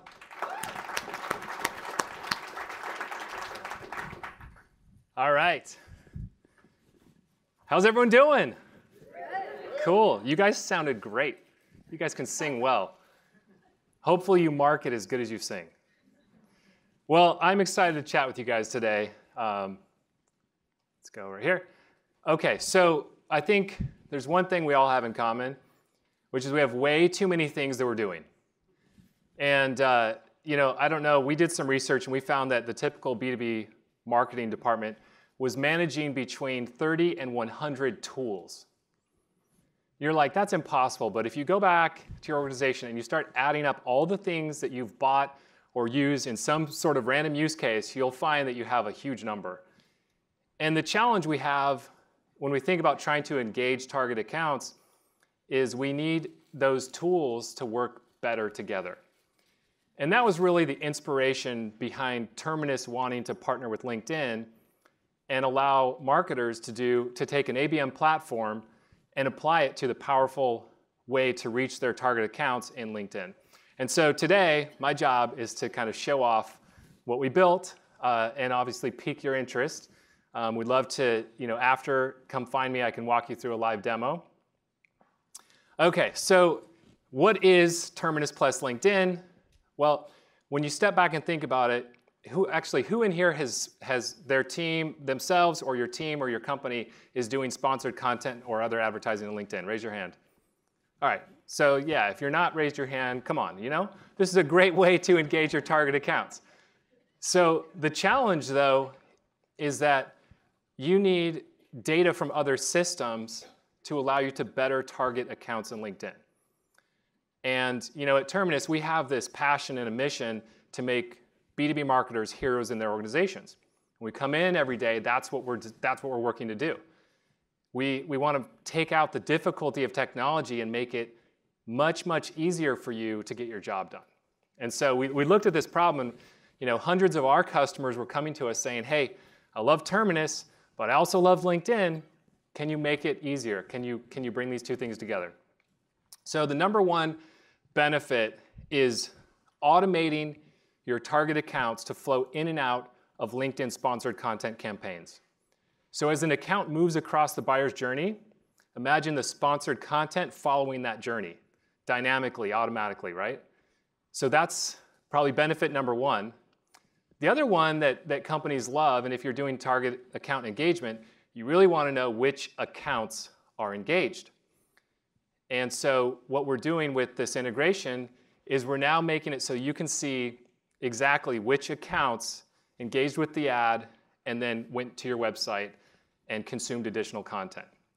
So there's many other things I'll walk through and show you, but those are two of the big highlights. So we're going to do a, a screen demo here. So who's used Terminus? Awesome, great. So you know uh, in Terminus, marketers can go in, they can bring in target accounts, they can create digital ads, and they can target specific personas or buying teams in that account and target and put those ads in front of those people across display advertising. So basically following people all, all over the web with these ads, you know, getting in front of their personas.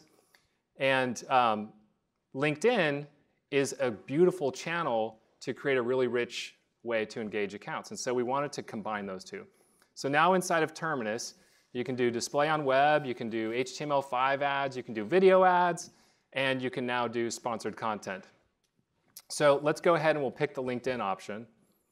So the next thing we got to do is we say, well, what accounts do we want to actually bring in to LinkedIn for our campaign? And so if you're going to do some sort of sponsored content campaign to a group of accounts, the question is, where will you get those accounts from? Now, most of us in marketing are used to like the painful process of going and grabbing some list of accounts from some system and manually bringing them to another system. And so that's, that is an option on here, but we wanted to make it a lot easier than that. So you can dynamically grab accounts from your CRM system. You can dynamically grab accounts from an MA system. You can dynamically grab accounts from a, a partner of ours, Everstring. So if anyone's using like a predictive tool, so we launched an API that allows data vendors that you guys probably use, like a DiscoverOrg or DataFox, to program against our API to make it so that those options are available to you. And we're building out the, that list of companies. And so here are, here are some of the ones that are available today. You also might be using Playmaker in Engagio.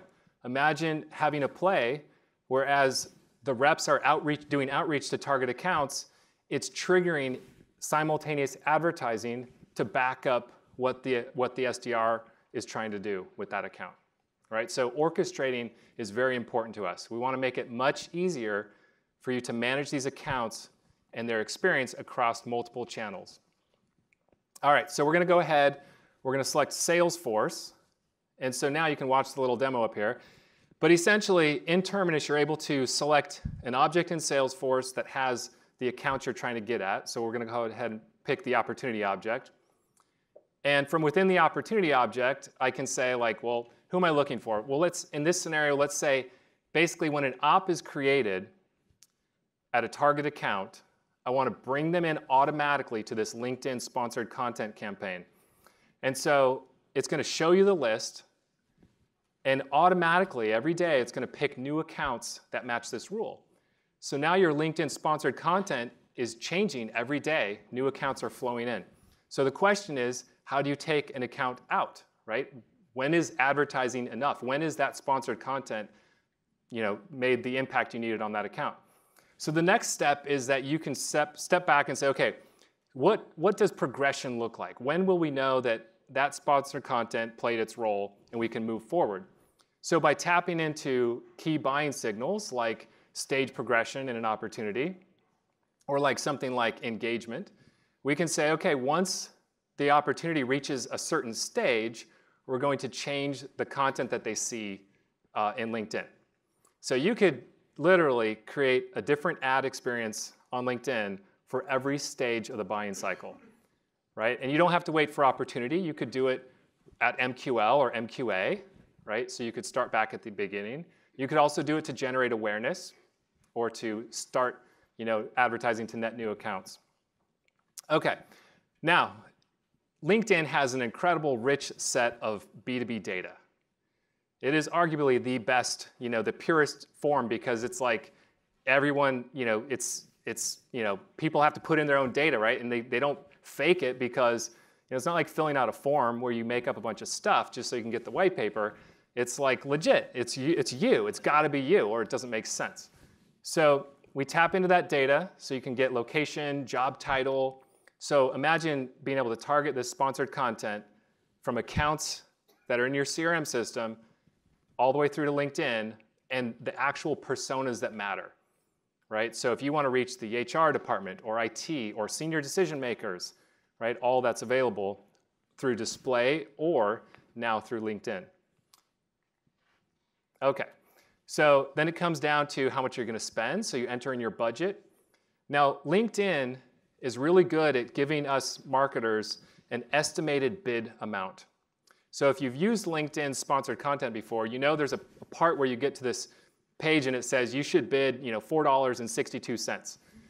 And that number is based on all the factors, the, the accounts you put in, where you're targeting, who you're targeting. And so because Terminus built this dynamic integration, as you add accounts as they flow in and out from your CRM system, we will check the bid estimate from LinkedIn and automatically set you at the appropriate bid. So it's a really easy way to, you know, really in a powerful way reach your target accounts. Now this is the fun part. We are marketers after all. We do like things that are creative and look pretty. So this is the sponsored content itself. Um, this is the builder in Terminus where you actually build the sponsored content. And this will show up in LinkedIn as promoted content in someone's feed. So you can see the little uh, um, sponsored content preview here. You click submit, and then we all like success. So hooray, you've created your, your campaign in Terminus. Um, behind the scenes, what's happening is we are syncing your accounts to LinkedIn. We're automating the matching process. So if you've gone through this process before, you know that it can take several days before you know how many of your accounts matched to a LinkedIn uh, company page. So we're actually doing that in real time behind the scenes. So you'll know in pretty instantly uh, how many you've matched and whether your campaign is ready to be launched. Once it goes live and the metrics start coming in, at the top here we've got you know, basically all of the campaign details. So everything that you just set up. The next section here are the metrics that you would traditionally see in LinkedIn. Now, the part that we're most excited about is the ability to see actually which companies are engaged. So all the companies that target accounts that you've brought over into this campaign on LinkedIn now show up in here, and you can see which ones matched a LinkedIn sponsor, uh, company page and which ones didn't. And then you'll see which ones have engaged with the content and gone through to your website. What do you think? Yeah? All right, so as a marketer, it's important, you know, we've heard all about engagement, right? And we know that one of the best things we could provide to sales teams is which accounts are engaged, right? Imagine if once a week you could provide your sales team with their, their, of their target accounts, the ones that are most engaged that week. That would be pretty awesome. And so in addition to just saying, did they engage with a piece of content, while that's important to marketers, the sales team wants to know, overall, how engaged is this account and how many people are engaged. And that's what this report is for. Um, all of this data is rolled up to accounts. So we hook into your website, we convert anonymous traffic into company traffic, and then we map that back to all your campaigns. So from a marketing perspective, you know which campaigns are driving companies' target accounts to engage. From a sales perspective, sales can now see which accounts are surging on your brand or on specific product content. So here's just a, a highlight. Now in this example, you can see a bunch of companies on the left, and you can also see which ones were engaged with display, which ones were engaged with LinkedIn content, and which ones were engaged with both. But again, even if someone doesn't consume content and they just come directly to the website, like you're doing other forms of outreach, you know, you do events, people just go to your website, that's going to get picked up and rolled up into an account view as well. So sales teams have the full experience of, of an account, like how many people are actually engaged with us from that account. All right, so just to wrap it up here, if you could, if you could literally put an advertisement in front of people at your target account along the buyer's journey, you would have a much better ability to impact and influence the people in that account. And at different stages of the buying cycle, there's different people who are going to respond to different content. And so one of the you know, things that most of our customers who use LinkedIn today tell us is they're using it to drive awareness. It's demand gen, right? They want to put this sponsored content out there to wake up accounts that they've never engaged with, and then they'll follow up with which ones engage. And that's just really like the very beginning of what's possible. So this example here, what I wanted to just highlight was you have, you know, you could have that net new campaign, a sponsored content campaign, but as that account moves through your CRM process as they become qualified, as you open up an opportunity. Through Terminus, you could change that advertising experience and engage them and the right people differently across this. So we'll just jump in here to imagine, you know, it's an early sales sort of experience. So like SDR qualifies the account, sets up a demo, the AE gets involved. Now suddenly the content on LinkedIn is changed. And it represents the backing up of that AE. So the, the AE is starting to engage the account, and now the content realizes that this person is in, early, uh, in an early sales stage. And so they're going to enter into the campaign. They're going to see advertising. That advertising can be orchestrated across the web through display as well as in LinkedIn sponsored content. Terminus is collecting all that data. Uh, you may have recently heard we acquired a company called BrightFunnel. BrightFunnel is a marketing analytics platform. It's an incredible platform for marketers to see you know, what is happening with an account all the way through the funnel. And so that data is coming into Terminus. It's going to come into BrightFunnel. And then you can use that to alert sales on their, on their engaged accounts. And then once that account moves to the next buying cycle, it progresses out of the campaign and moves to the next campaign and so on. So this is just an incredibly powerful way to engage your accounts with advertising in a way where you can really automate it through that buyer's journey. And if I, you know, you think back to that first slide with all the sticky notes, right? Your desk probably looks much more organized than that, but mine sort of is chaotic, right? There's just like notes everywhere. And right, what we wanted to do really is, is just make it easier, right? We know it's really powerful to do sponsored content. We know that it works. We know from our customers that it really does drive a lot of engagement.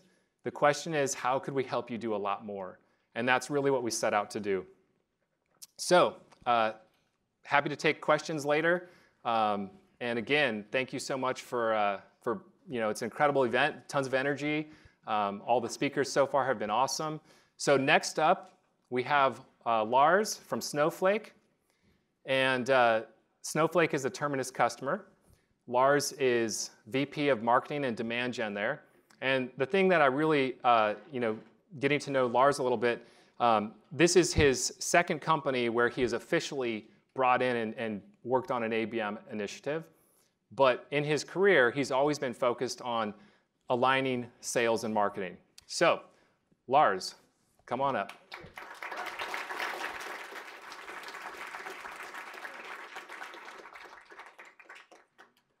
Thank you. So uh, Lars Christensen from Snowflake Computing. Um, we have five key functions that are rolling up to our demand generation department, and that's marketing operations. It's broad-based demand generation, which is still very much alive and kicking. We have field marketing, we have industry marketing, and then we have ABM that kind of goes across those departments. In addition, of course, they have standalone deliverables. Three things about myself. Born in Denmark, so this accent you have to struggle through for the next 18 minutes is a Danish accent.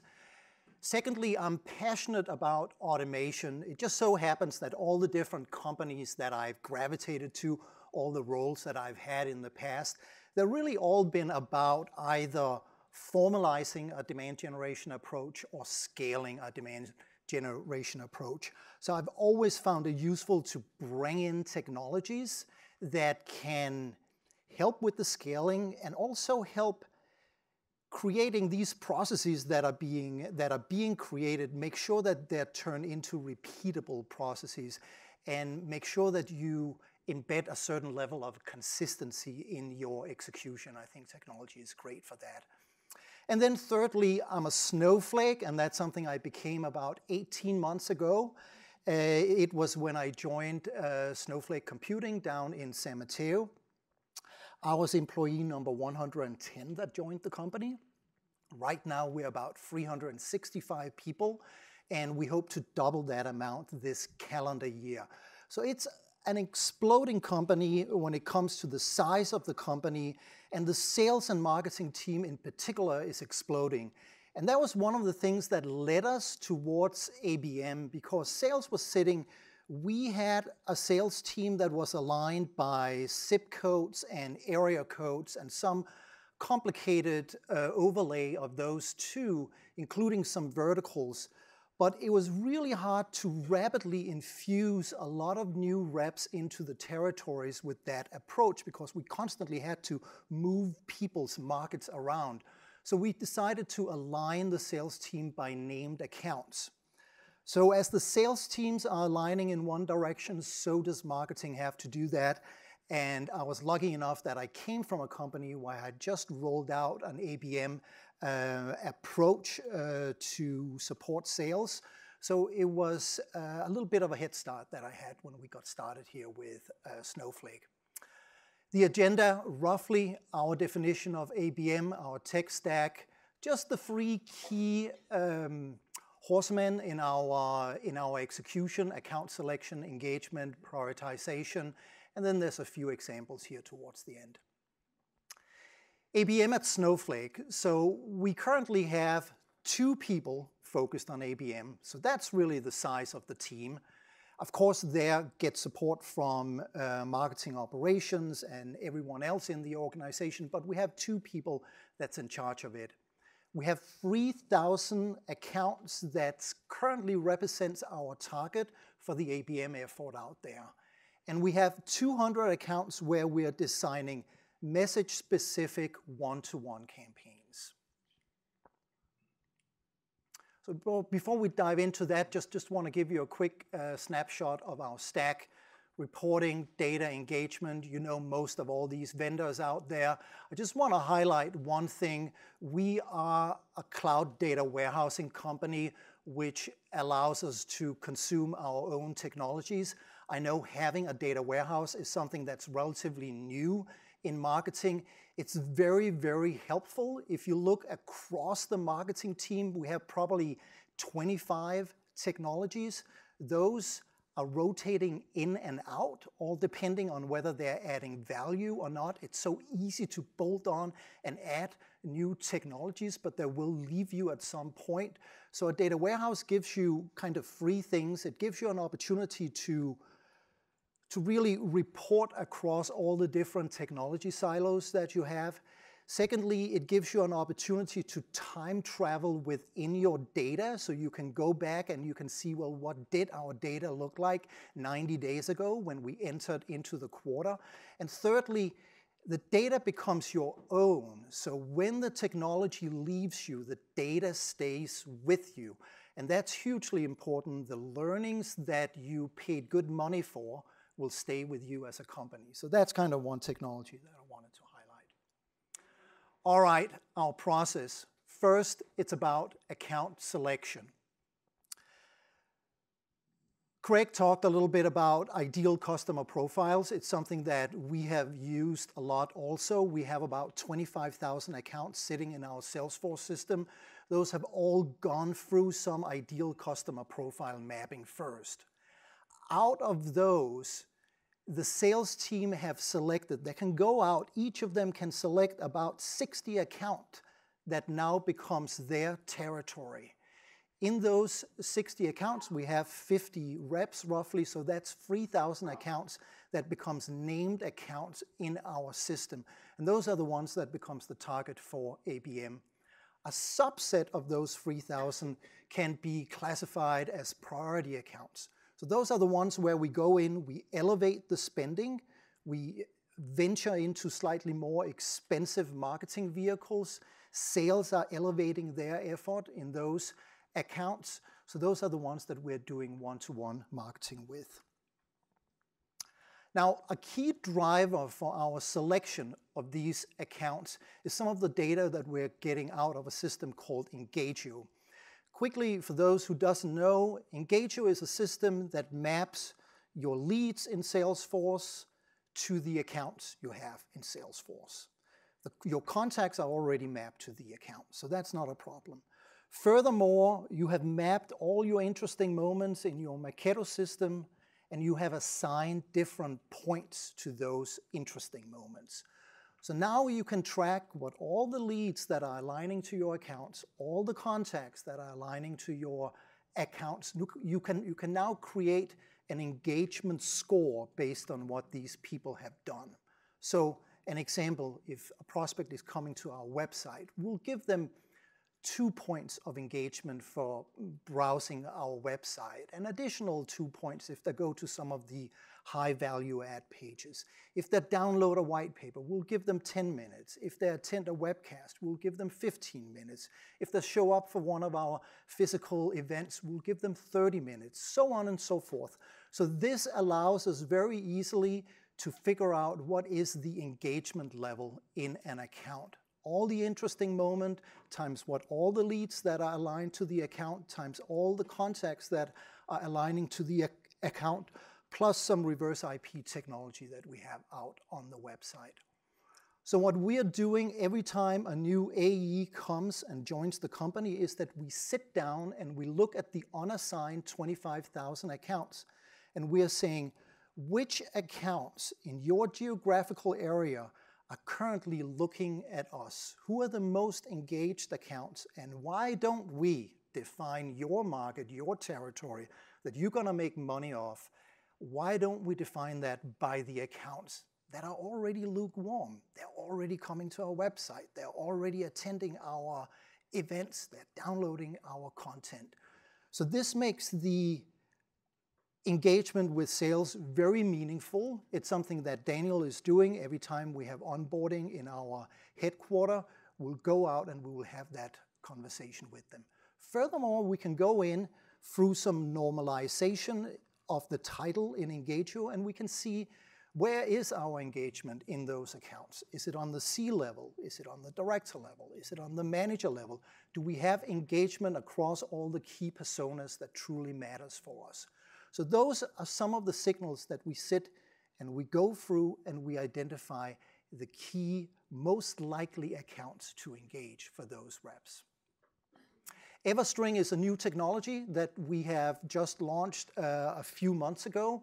So in addition to that, the engagement data we are getting from Engagio, we have gone in and we have done some model exercises with EverString, and we have found all the 25,000 accounts we have, which one fits a model, which one will become an ideal deal size for us, which one will travel fast through the opportunity cycle.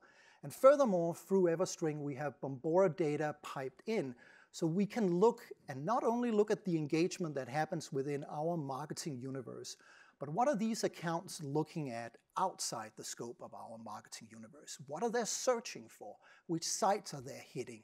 And based on that, we can create a narrative and we can create a theme and say, is this an account that we should talk to? Is their search history, is the search history of that account such that it's an interesting point for us to start a conversation? All right, engagement, hugely important. So when an account in Salesforce is marked as a named account, it starts an investment cycle on the marketing side.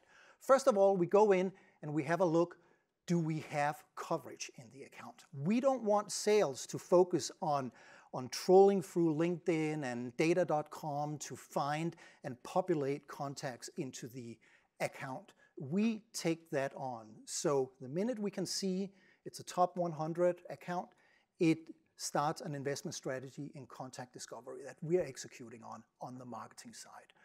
Furthermore, we're starting some inbound strategies. Of course, there's the terminus, because we all know that just because you start emailing new people you have added to your database, it doesn't mean they're going to start responding. So you need to warm them up. You need to put your um, brand name, you need to put, put your message in front of them. And we're using Terminus, we're using LinkedIn to do that. When we have their attention, it's very important that you're putting the right content in front of them. So that's where we have adopted a technology called Uberflip. It allows us in mass quantity to generate resource pages. So we have about 250 different resource pages. So depending on the customer's level of engagement, depending on their intent, depending on their um, technology stack that we can find through DiscoverOrg, we will put different content in front of them. This is a very easy system to make sure that once you have their attention, you want to deepen the engagement as much as possible. Furthermore, and this was some of the stuff that Craig talked about, very often it comes down to old school SDRing, and we are giving our SDRs some great tools. Uh, we are giving them Vidyard, which is a tool where they can create an account-based or a persona-based video that they can record, embed into the email, and send it out. We have PFL, which is a great tool from within salesforce.com. The SDR team can send out three-dimensional direct mailers. And we have VLG, which is another direct mail shop that we're using to heighten the engagement. If you make an effort, you will hear something back. We're getting a significant higher response rate from all these things. All right, so this was a little bit what Brian talked about, the buyer's journey. So we can look at our accounts. We're looking at the engagement level we're largely getting from Engagio, and we can go in and we can see if they're unaware. We have a dummies guide we can put in front of them. That's very light lifting content. If they're engaged, we want to drive them to our weekly live demo that we have. And if they're highly engaged, so those are when we have multiple people across multiple departments that are mass consuming our content, I think we earned the right to invite them to try our product out. So this is where we're pushing them to the free trial. So this is using some of the data that we have from Engagio on the engagement side. We're also starting to use intent as targeting.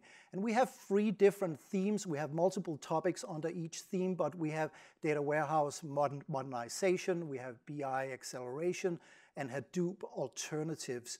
Those are some of the themes that we are currently tracking. So when we see that the account is having a surge within those themes, we activate different sales plays.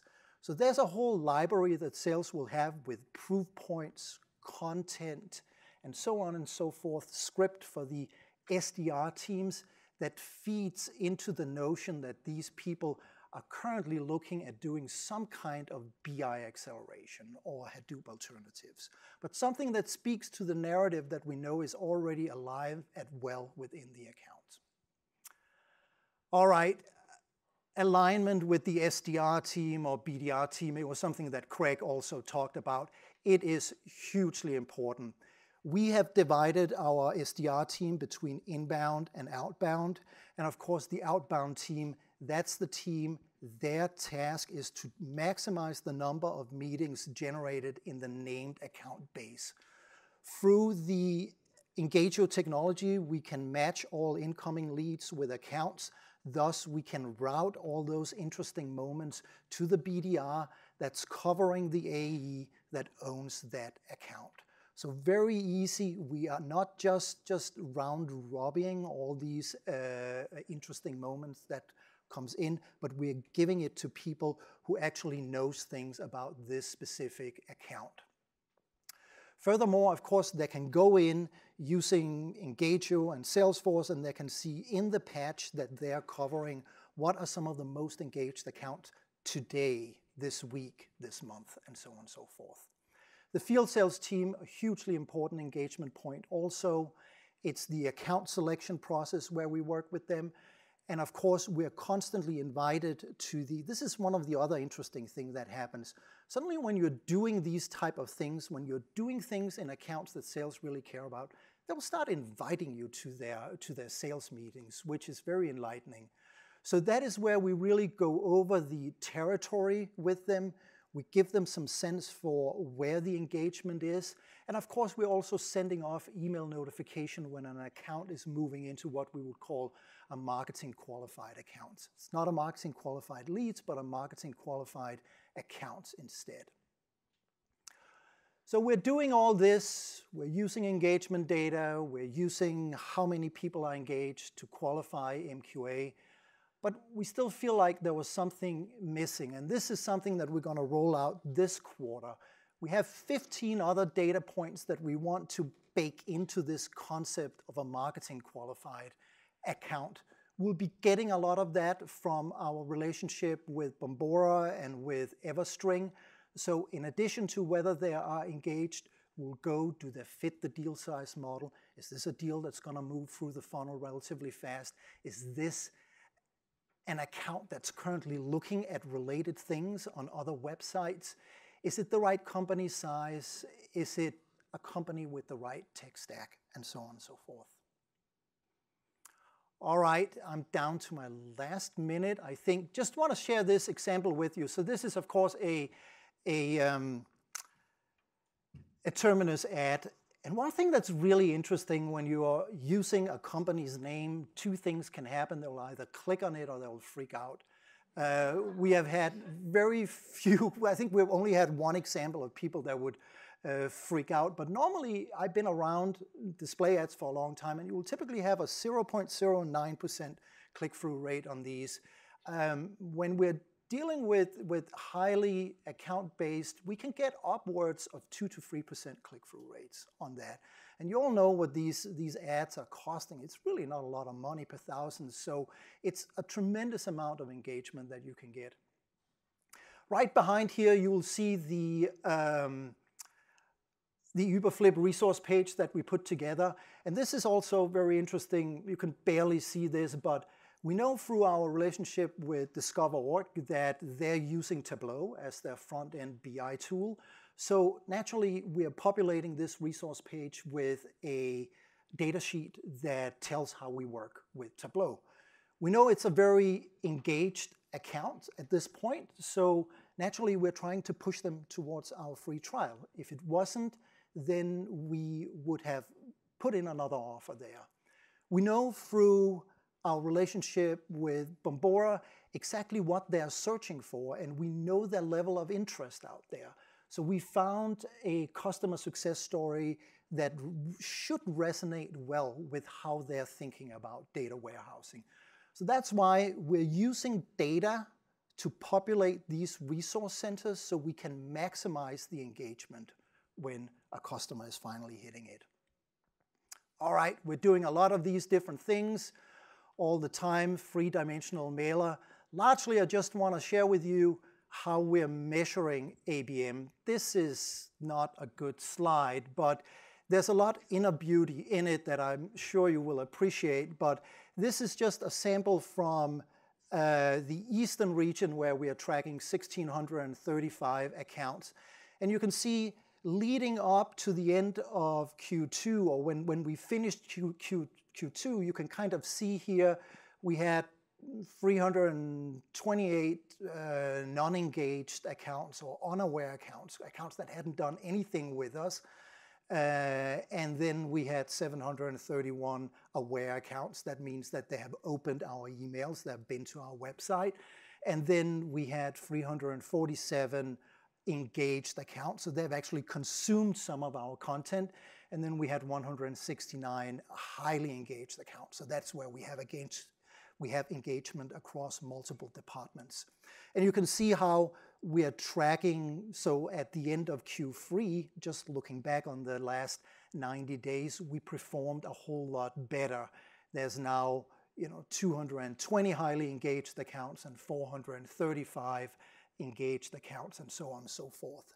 So we need to put together some frameworks for measuring this, and uh, this is something that we're still experimenting with, but you know, just like it was the case when we did the old waterfall, there has to be some service level agreements with the individual regions that you're servicing in terms of how many of the accounts you care about should we really generate awareness in, engagement in, high engagement in, and so on and so forth.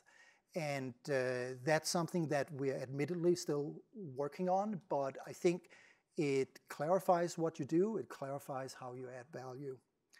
So with that said, thank you so much for your time.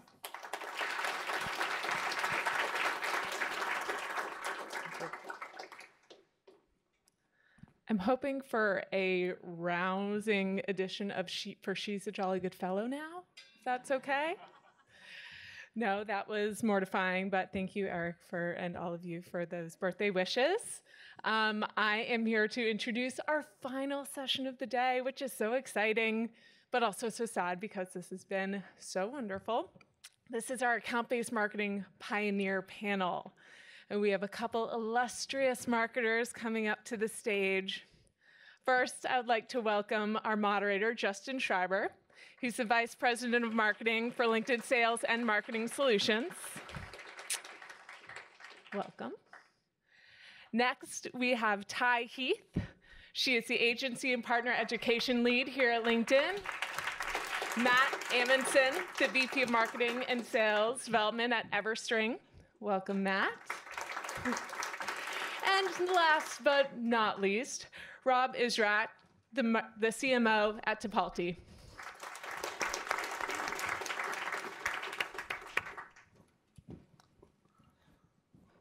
Well, it's great to be here, and we get to talk about one of my favorite subjects, which is account based marketing.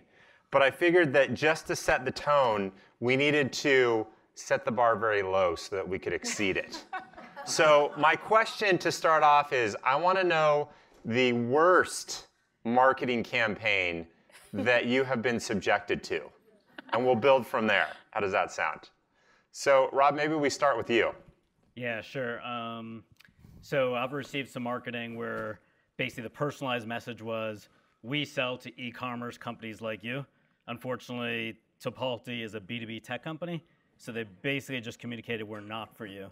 And you know, get a lot of sales prospecting, so you eliminate the company really early based on a poor communication like that, particularly if you're selling sales and marketing technology. Yeah, that's problematic. All right. Matt, can you beat that? I think I can. I get a lot of crap. Uh, I'm sorry, guys. We could go on for yeah, days. Could, yeah, let, us with this topic. Let's get it started. Uh, yeah, so for a long time, my LinkedIn profile said I'll take meetings for cupcakes. Mm. And so I got a lot of cupcakes, which are not bad.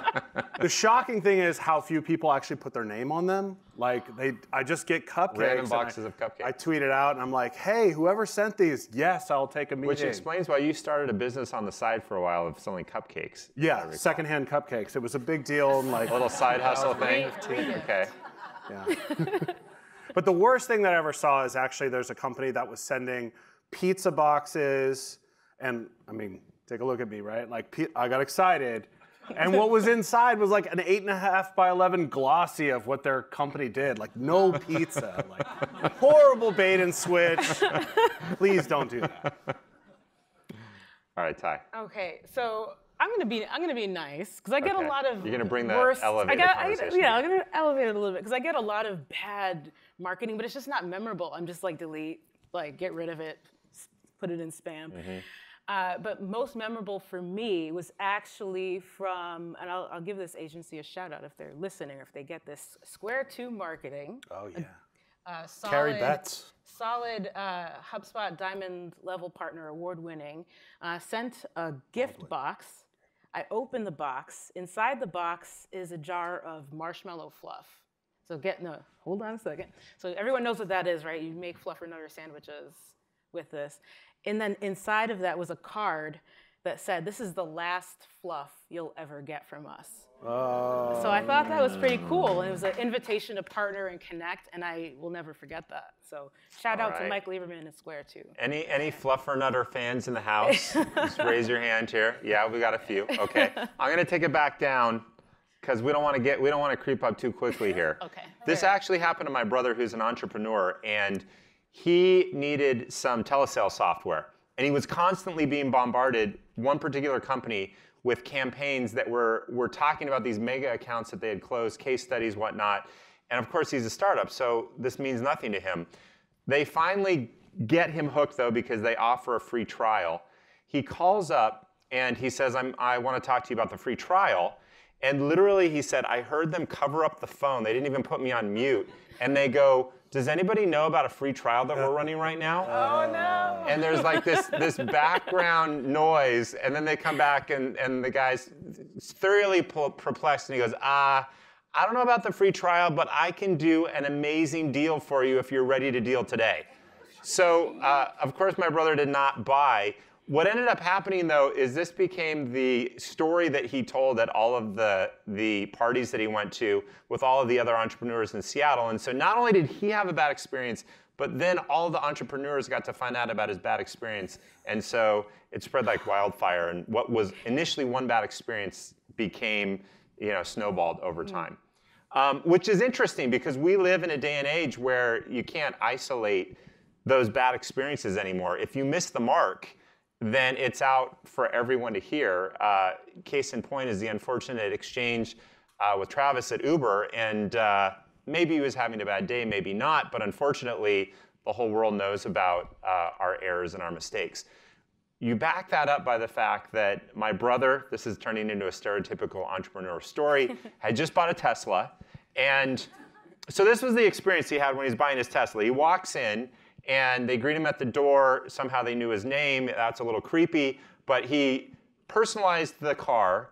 They told him exactly when the car was going to be arriving. He got status on his phone. The car was delivered to his doorstep. And then if anything went wrong, they knew before he did. They came and picked it up and brought him a loaner. So the bar has been set at a completely different level.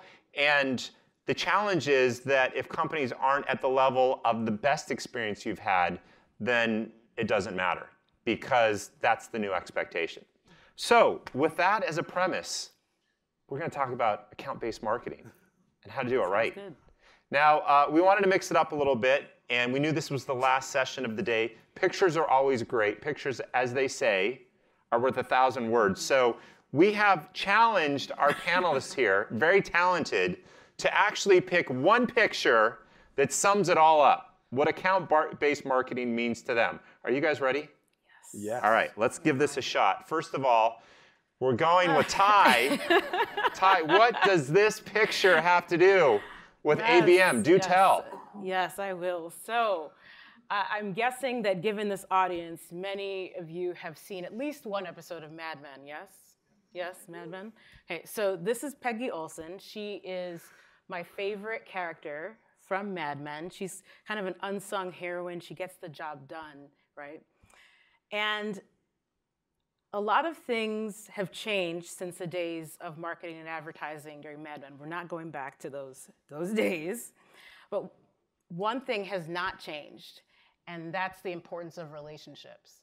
So whether it was Lucky Strike, Heinz, Campbell's Soup, the people of Mad Men were hyper focused on the accounts that mattered to them. So they were very focused on building those relationships. They wined them, they dined them, they drank all the whiskey, they smoked all the cigars together, and uh, it made a difference. And it's not just about knowing those accounts that you're involved with and building relationship with them. It's also about, as you've heard multiple times in this session, building relationship with your salespeople. So I think Mad Men is a really good reminder that it's important not just not to just invest in expanding relationships, expanding the connections with those accounts digitally, but to do that in real life as well. So that's why I chose Mad Men. And also have to acknowledge Sangram, who has a really good blog post that cites Mad Men. I always now use this as a way to explain account-based marketing at a very basic level. It's about relationships and relationship expansion. Awesome. All right. Good one to, we're taking the bar way up. You're always on, you're always taking it up. Thank always you. taking it to the next Thank level. you. Okay.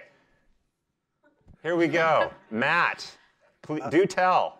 Um, all right, so if anybody else is like me, you stay up really late watching uh, strange late night television, like uh, Tim and Eric, awesome show, great job.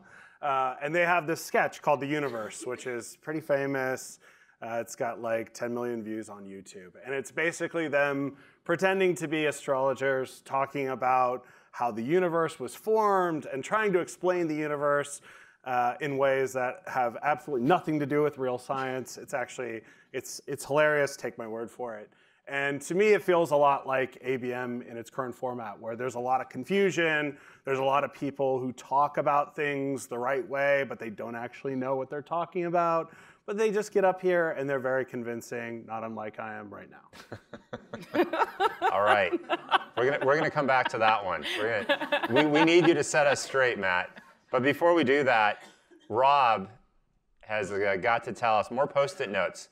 Going back to Brian, this is a good a good theme for us through the day. Our post-it notes. Yeah, I get the word of the most boring visual, I think. But um, what I was kind of getting at, Craig talked a little earlier about ABM and strategy, and that you have to have a strategy before you go through your target account list and before you decide what programs, what measurements you have to have. And at the end of the day, when you get your CO and CRO aligned, where you're really aligning behind all this infrastructure and data, process and the such, it's ultimately about personalizing, right? It kind of goes to what's been talked about. It's personalized by the company and then the people at the company. And so that's really what, you know, a well executed ABM strategy ultimately should deliver almost a one to one personal experience by company, then within by company, by the different buying centers in the company. And so it really gets it back down to personalization. Um, if you have all the data, have all the targeting, all perfect, but the message is the same message for everyone, you've kind of only gotten 40% of your way there. So you have to really start and think of the whole process end to end. And it's not just marketing, right? Sales has to do it too. If you are being targeted by a company, you have one salesperson selling one set of products, but that same company, another one selling either the same product or different, you, they basically just told you that they're in a competent company. You want to work with them. So that's a part of it. And so marketing and sales really have to align in this and make sure that you're delivering that same personalized, focused discussion across that whole experience marketing, sales, buying center, company, et cetera. So. Great. So good definition there of ABM. And Matt, I want to come back to you as well. You said there are a lot of different definitions for ABM and a lot of confusion. How would you define ABM then? What's the right way to think about it? Yeah, I mean, I think it's a holistic business approach where your company is targeting another account and you're you're targeting it holistically. I think a lot of people will target a company that's a great fit and then send a direct mail piece to the buyer and say, "Well, that's ABM."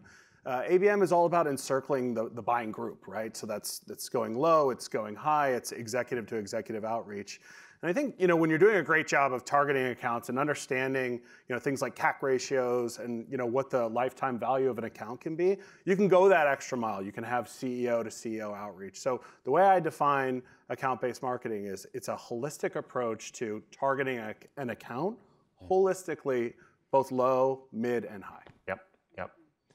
I actually, I've been thinking about this definition as well. I have a problem with the acronym. I know we're at an ABM, I think, love fest because we have the, uh, the logo, it's in the logo. But I personally have an issue with the term itself. So account-based marketing, ABM, two out of the three letters are a strikeout for me. So first of all, account. Um, you know, I, I had an opportunity to call upon General Electric. That's an account. But you think about the diversity of businesses that live under the umbrella that we know as General Electric. And I think, Rob, you put your finger on it. There are buying, buying centers. And ultimately, those buying centers make decisions about what to bring into an organization. If we're not focused on buying centers, even if we're focused at the account level, we're missing the mark. So to me, the atomic unit really is about the buying center and not the account. And then the second letter in the acronym that I have a problem with is marketing, because you think about what happened to my brother. Maybe marketing was on, well, marketing was off the point because they weren't shooting in the right uh, campaigns. But even if they were, if it wasn't a joint sales and marketing effort, then again, there's a strikeout. So um, I think ultimately there needs to be a term that talks about buyer centers, that needs to talk about sales and marketing. And I think ABM is coming to represent that, but uh, maybe the term itself is a little bit behind the, the concept. Ty, I'd love your perspective on where, in your mind, ABM actually falls short. Mm-hmm. Yeah, so we've been talking a lot about marketing and how marketing should help. We've also been talking about sales. I think where marketing falls short is not necessarily thinking about how to bring in sales. We've been talking a lot about sales and marketing alignment. Account based marketing is one side of the coin, social selling is the other side of the coin. So, for those of you who haven't heard about social selling, it is when you use social media insights to reach out to, to nurture, to build relationships, sharing helpful thought leadership, and engaging with prospective buyers. Our job as a marketer is to provide sales, provide air cover, provide content to support them in closing the sale and bringing that relationship along. With social selling, you have an army of salespeople that's ready to help make that content available to the buying committee. So if you're not investing on the sales side as well and tapping into them with social selling, you're really only engaging one side of that formula. So, you know, I think with Sales Navigator, for example, a LinkedIn product, that's how salespeople are going in and identifying accounts, identifying people within those accounts to engage with. And uh, one of the things that we're testing at LinkedIn is the capacity for you to, uh, as a salesperson, create saved account leads that a marketer can then go and target. And so it's closing that loop and it's enabling the collaboration that I think we've, we've talked about today, but can't stress enough. It's only one side of the coin if you're not also looking at how can I advance my social selling.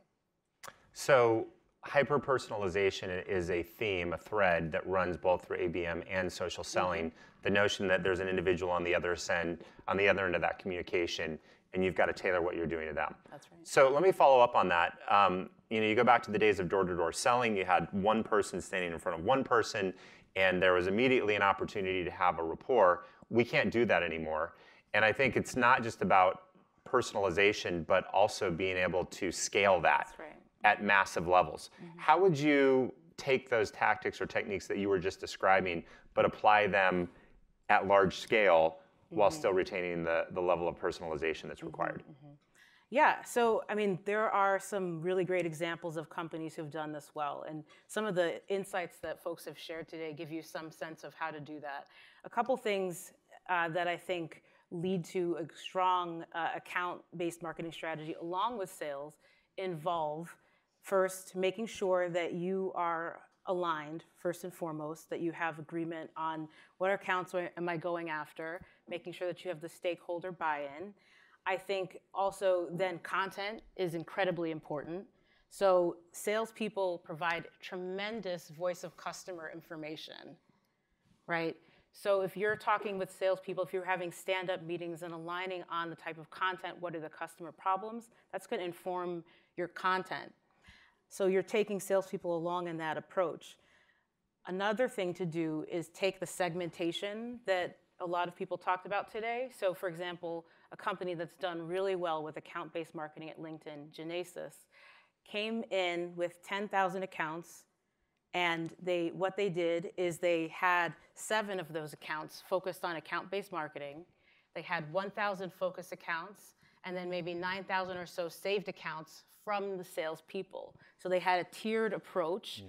They brought sales along with voice of customer to inform the content message, and then you want to make sure that you're also testing and experimenting along the way. So they had weekly meetings where they went back and checked and they were constantly optimizing and constantly learning from salespeople. What are you hearing in the field? And with that, they're able to tweak the message. So I think looking at how you do that at scale involves some work on the ground, but then you have tools like the LinkedIn Terminus integration, you have Sales Navigator, you have uh, the, what we're piloting with the saved accounts that's starting to inform the automation and collaboration uh, with sales and marketing. I'm glad you I'm glad you shared that point about the pyramid shape of ABM. You have you have three tiers, if you will. The highest tier has the smallest number of accounts in it. That's where you're ultra personalized and ultra focused. A mid tier and a, and a bottom tier. And so certainly the intent is not every single account gets the same That's level right. of, of focus and attention. Um, Right. But surely the top the top level does. Absolutely. Great. So, Rob, I wanted to come back to a point that you made about this notion of sales, marketing working together. Number one, has that been a focus for you in your organization? And if so, what did you have to do to make that alignment happen? And when you did, what was the impact? Yeah, so uh, when I joined the company about three and a half years ago, we didn't have a, a target account approach. I prefer that to ABM actually. Um, we didn't have that. So one of the things, the first things we did is, you know, I had like five strategic levers. Two of the five, one was personalization, one was target account. By actually creating the target account list for sales, you know, using input from them and feedback from them, but then ultimately programmatizing it and getting their buy-in on that, that really helped align marketing and sales because it gives them trust that wow, marketing is actually going to focus their efforts on the same companies we agreed to focus on. Uh, and then we built a database, sunk that immediately from Marketo to Salesforce, et cetera. So it really actually does a great job in aligning sales and marketing and getting building confidence and goodwill. Um, and from there, really, I mean, Shannon's in the in the room. She runs our ABM program on the marketing side. But I mean, there's constant dialogue between marketing ops, sales ops, SDRs, inbound SDRs, outbound SDRs, sales management, myself, uh, our CRO, et cetera. And so it really is a team-based effort. There was just a chain, an email chain earlier today about uh, someone was talking to an influencer marketing network, and they're like, "Who are the customers that are in this influencer marketing?" My customer marketer jumped in, went through a little database. These are the five. You know, product marketing jumped in. We'll make a slide on that. We, we'll add this to the, this and that. And so it's sales and marketing in real time, engaging. And um, without a target account approach, we wouldn't have had that type of trust and relationship and kind of collaboration. So there's a collaborative effort between sales and marketing to target the accounts, and then from there, there's a, a, a cohesive strategy that comes out of it. One of the uh, one of the interesting experiments that I've done in a couple of different organizations as a marketer, and I remember I did this once. We had a, a great year uh, from a marketing perspective in terms of demand gen, hit all of our targets from a lead perspective, and I was with a group of salespeople, and I was really excited because finally we were going to get our due. And I said, raise your hand if you got a lead from marketing this quarter. Nobody raised their hand. And I said, where are all these leads going? We had the best quarter ever, and nobody got a lead. And what I realized, I've also had the chance to sell, is that it's not so much that salespeople aren't getting leads. There's a different mindset, and there's a different way to view the world. In fact, I joke around that marketers view the world as a funnel, and salespeople view the world as a pipeline, and they can't even agree on which direction or orientation their business is, is lining up. So as a marketer, you say, you know, you're waiting for a pat on the back for all these leads that you delivered, and the salespeople are saying, I have no leads. So regardless of how effective the lead generation is and, and how much that's being monetized, I think there also needs to be a lot of direct interaction on issues that both sellers and marketers care about. So account prioritization is one great example. I've got a really pedestrian example as well. Um, in a world where content is king, salespeople oftentimes are very intimidated by social platforms because it means putting together a long form blog post. That means taking a lot of time, organizing yourself, writing. And for a lot of salespeople, they feel less comfortable in the written world than they do in the spoken world. We ran an experiment at LinkedIn where we said these, these sales professionals are having amazing conversations every day with experts in the field as they engage in, in the daily selling process. What if we had them record some of these conversations? And so we invited them on your next call, just record it. Pick a topic that you want to talk about, record it, and then send it to the marketing team. We outsourced it, and we got a long form post coming back from the recording of that conversation, which we then sent to the sales team. And then the sellers took that, maybe personalized a little bit with their own uh, flavor or language, and they posted that on social media. It was amazing the kind of reception that they got. Number one, it was an authentic piece. They felt like it had come from them because it was actually their interview. Number two, it was incredibly easy for them and for us. And number three, it really showcased the fact that we were working together as partners. Added benefit for marketing, we suddenly got to see all of these customers and prospects, profile and screen them, which was a great input from a case study perspective. And also, there were a number of speakers that came out of that because we could actually hear them talking and articulating points. So I think there are a lot of opportunities like that based on things that we're already doing to find synergies and to, to collaborate in that respect. All right, so uh, Matt, I'll come back to you now. You had talked about this ambiguity around what ABM is. You've obviously refined your thinking on the topic.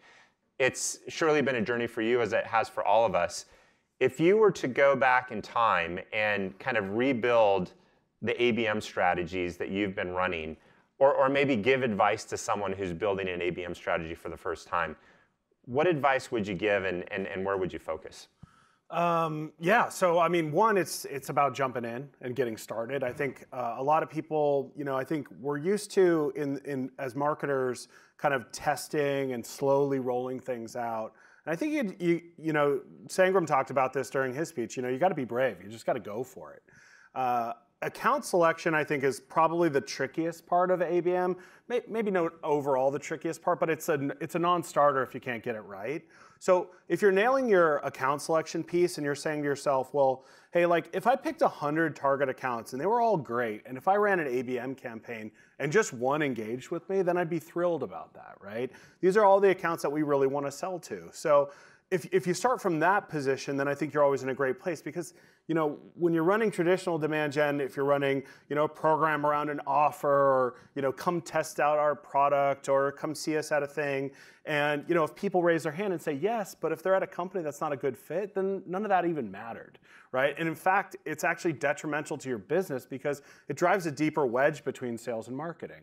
So, you know, when you're when you're running ABM campaigns or just even account-centric campaigns where you're you're thinking about the accounts before you, you launch a campaign, when you get results back and your sales team is like, yes, I really want to sell to this business, they're a perfect fit for us, that's really where the magic of ABM starts. And I think for a lot of people, they will you know just mail out a, a, coffee mug or something like that to a group of a companies. pizza box. Uh, you know, you know, an unfortunate pizza box, uh, and and you know someone says yes and it's the wrong person, and then your AEs are like, well, what are you even doing this mm-hmm. for? Right? This just kind of feels like regular marketing, but with a direct mail component. So I think you know, for for for people as one. ABM isn't just about sending direct mailers. I think a lot of people are kind of stuck in that place. Uh, ABM is, is, it's really about you know engaging with accounts that your salespeople actually want to sell to, and when you do that, they will totally buy into it. Awesome. Uh, Rob, your last piece of advice on uh, on aspiring account-based marketers?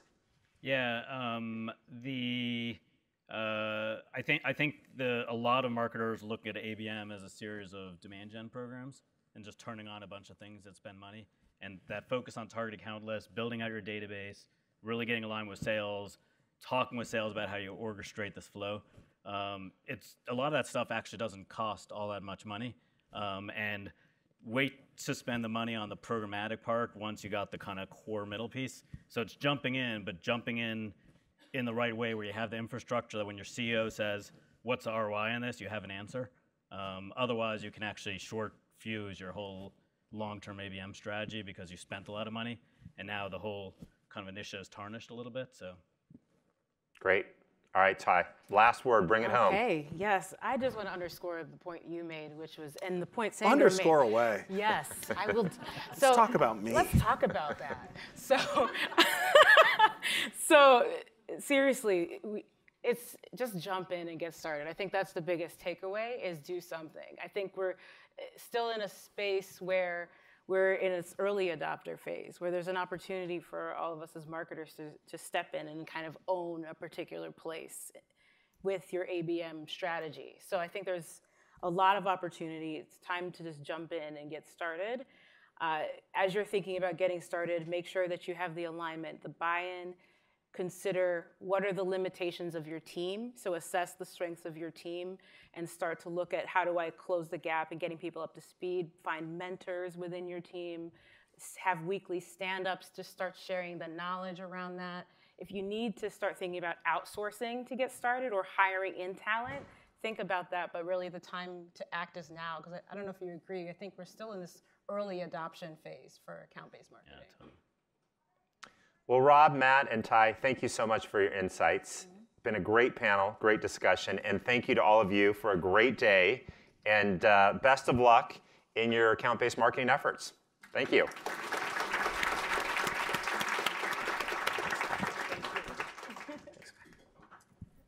Um, that was amazing.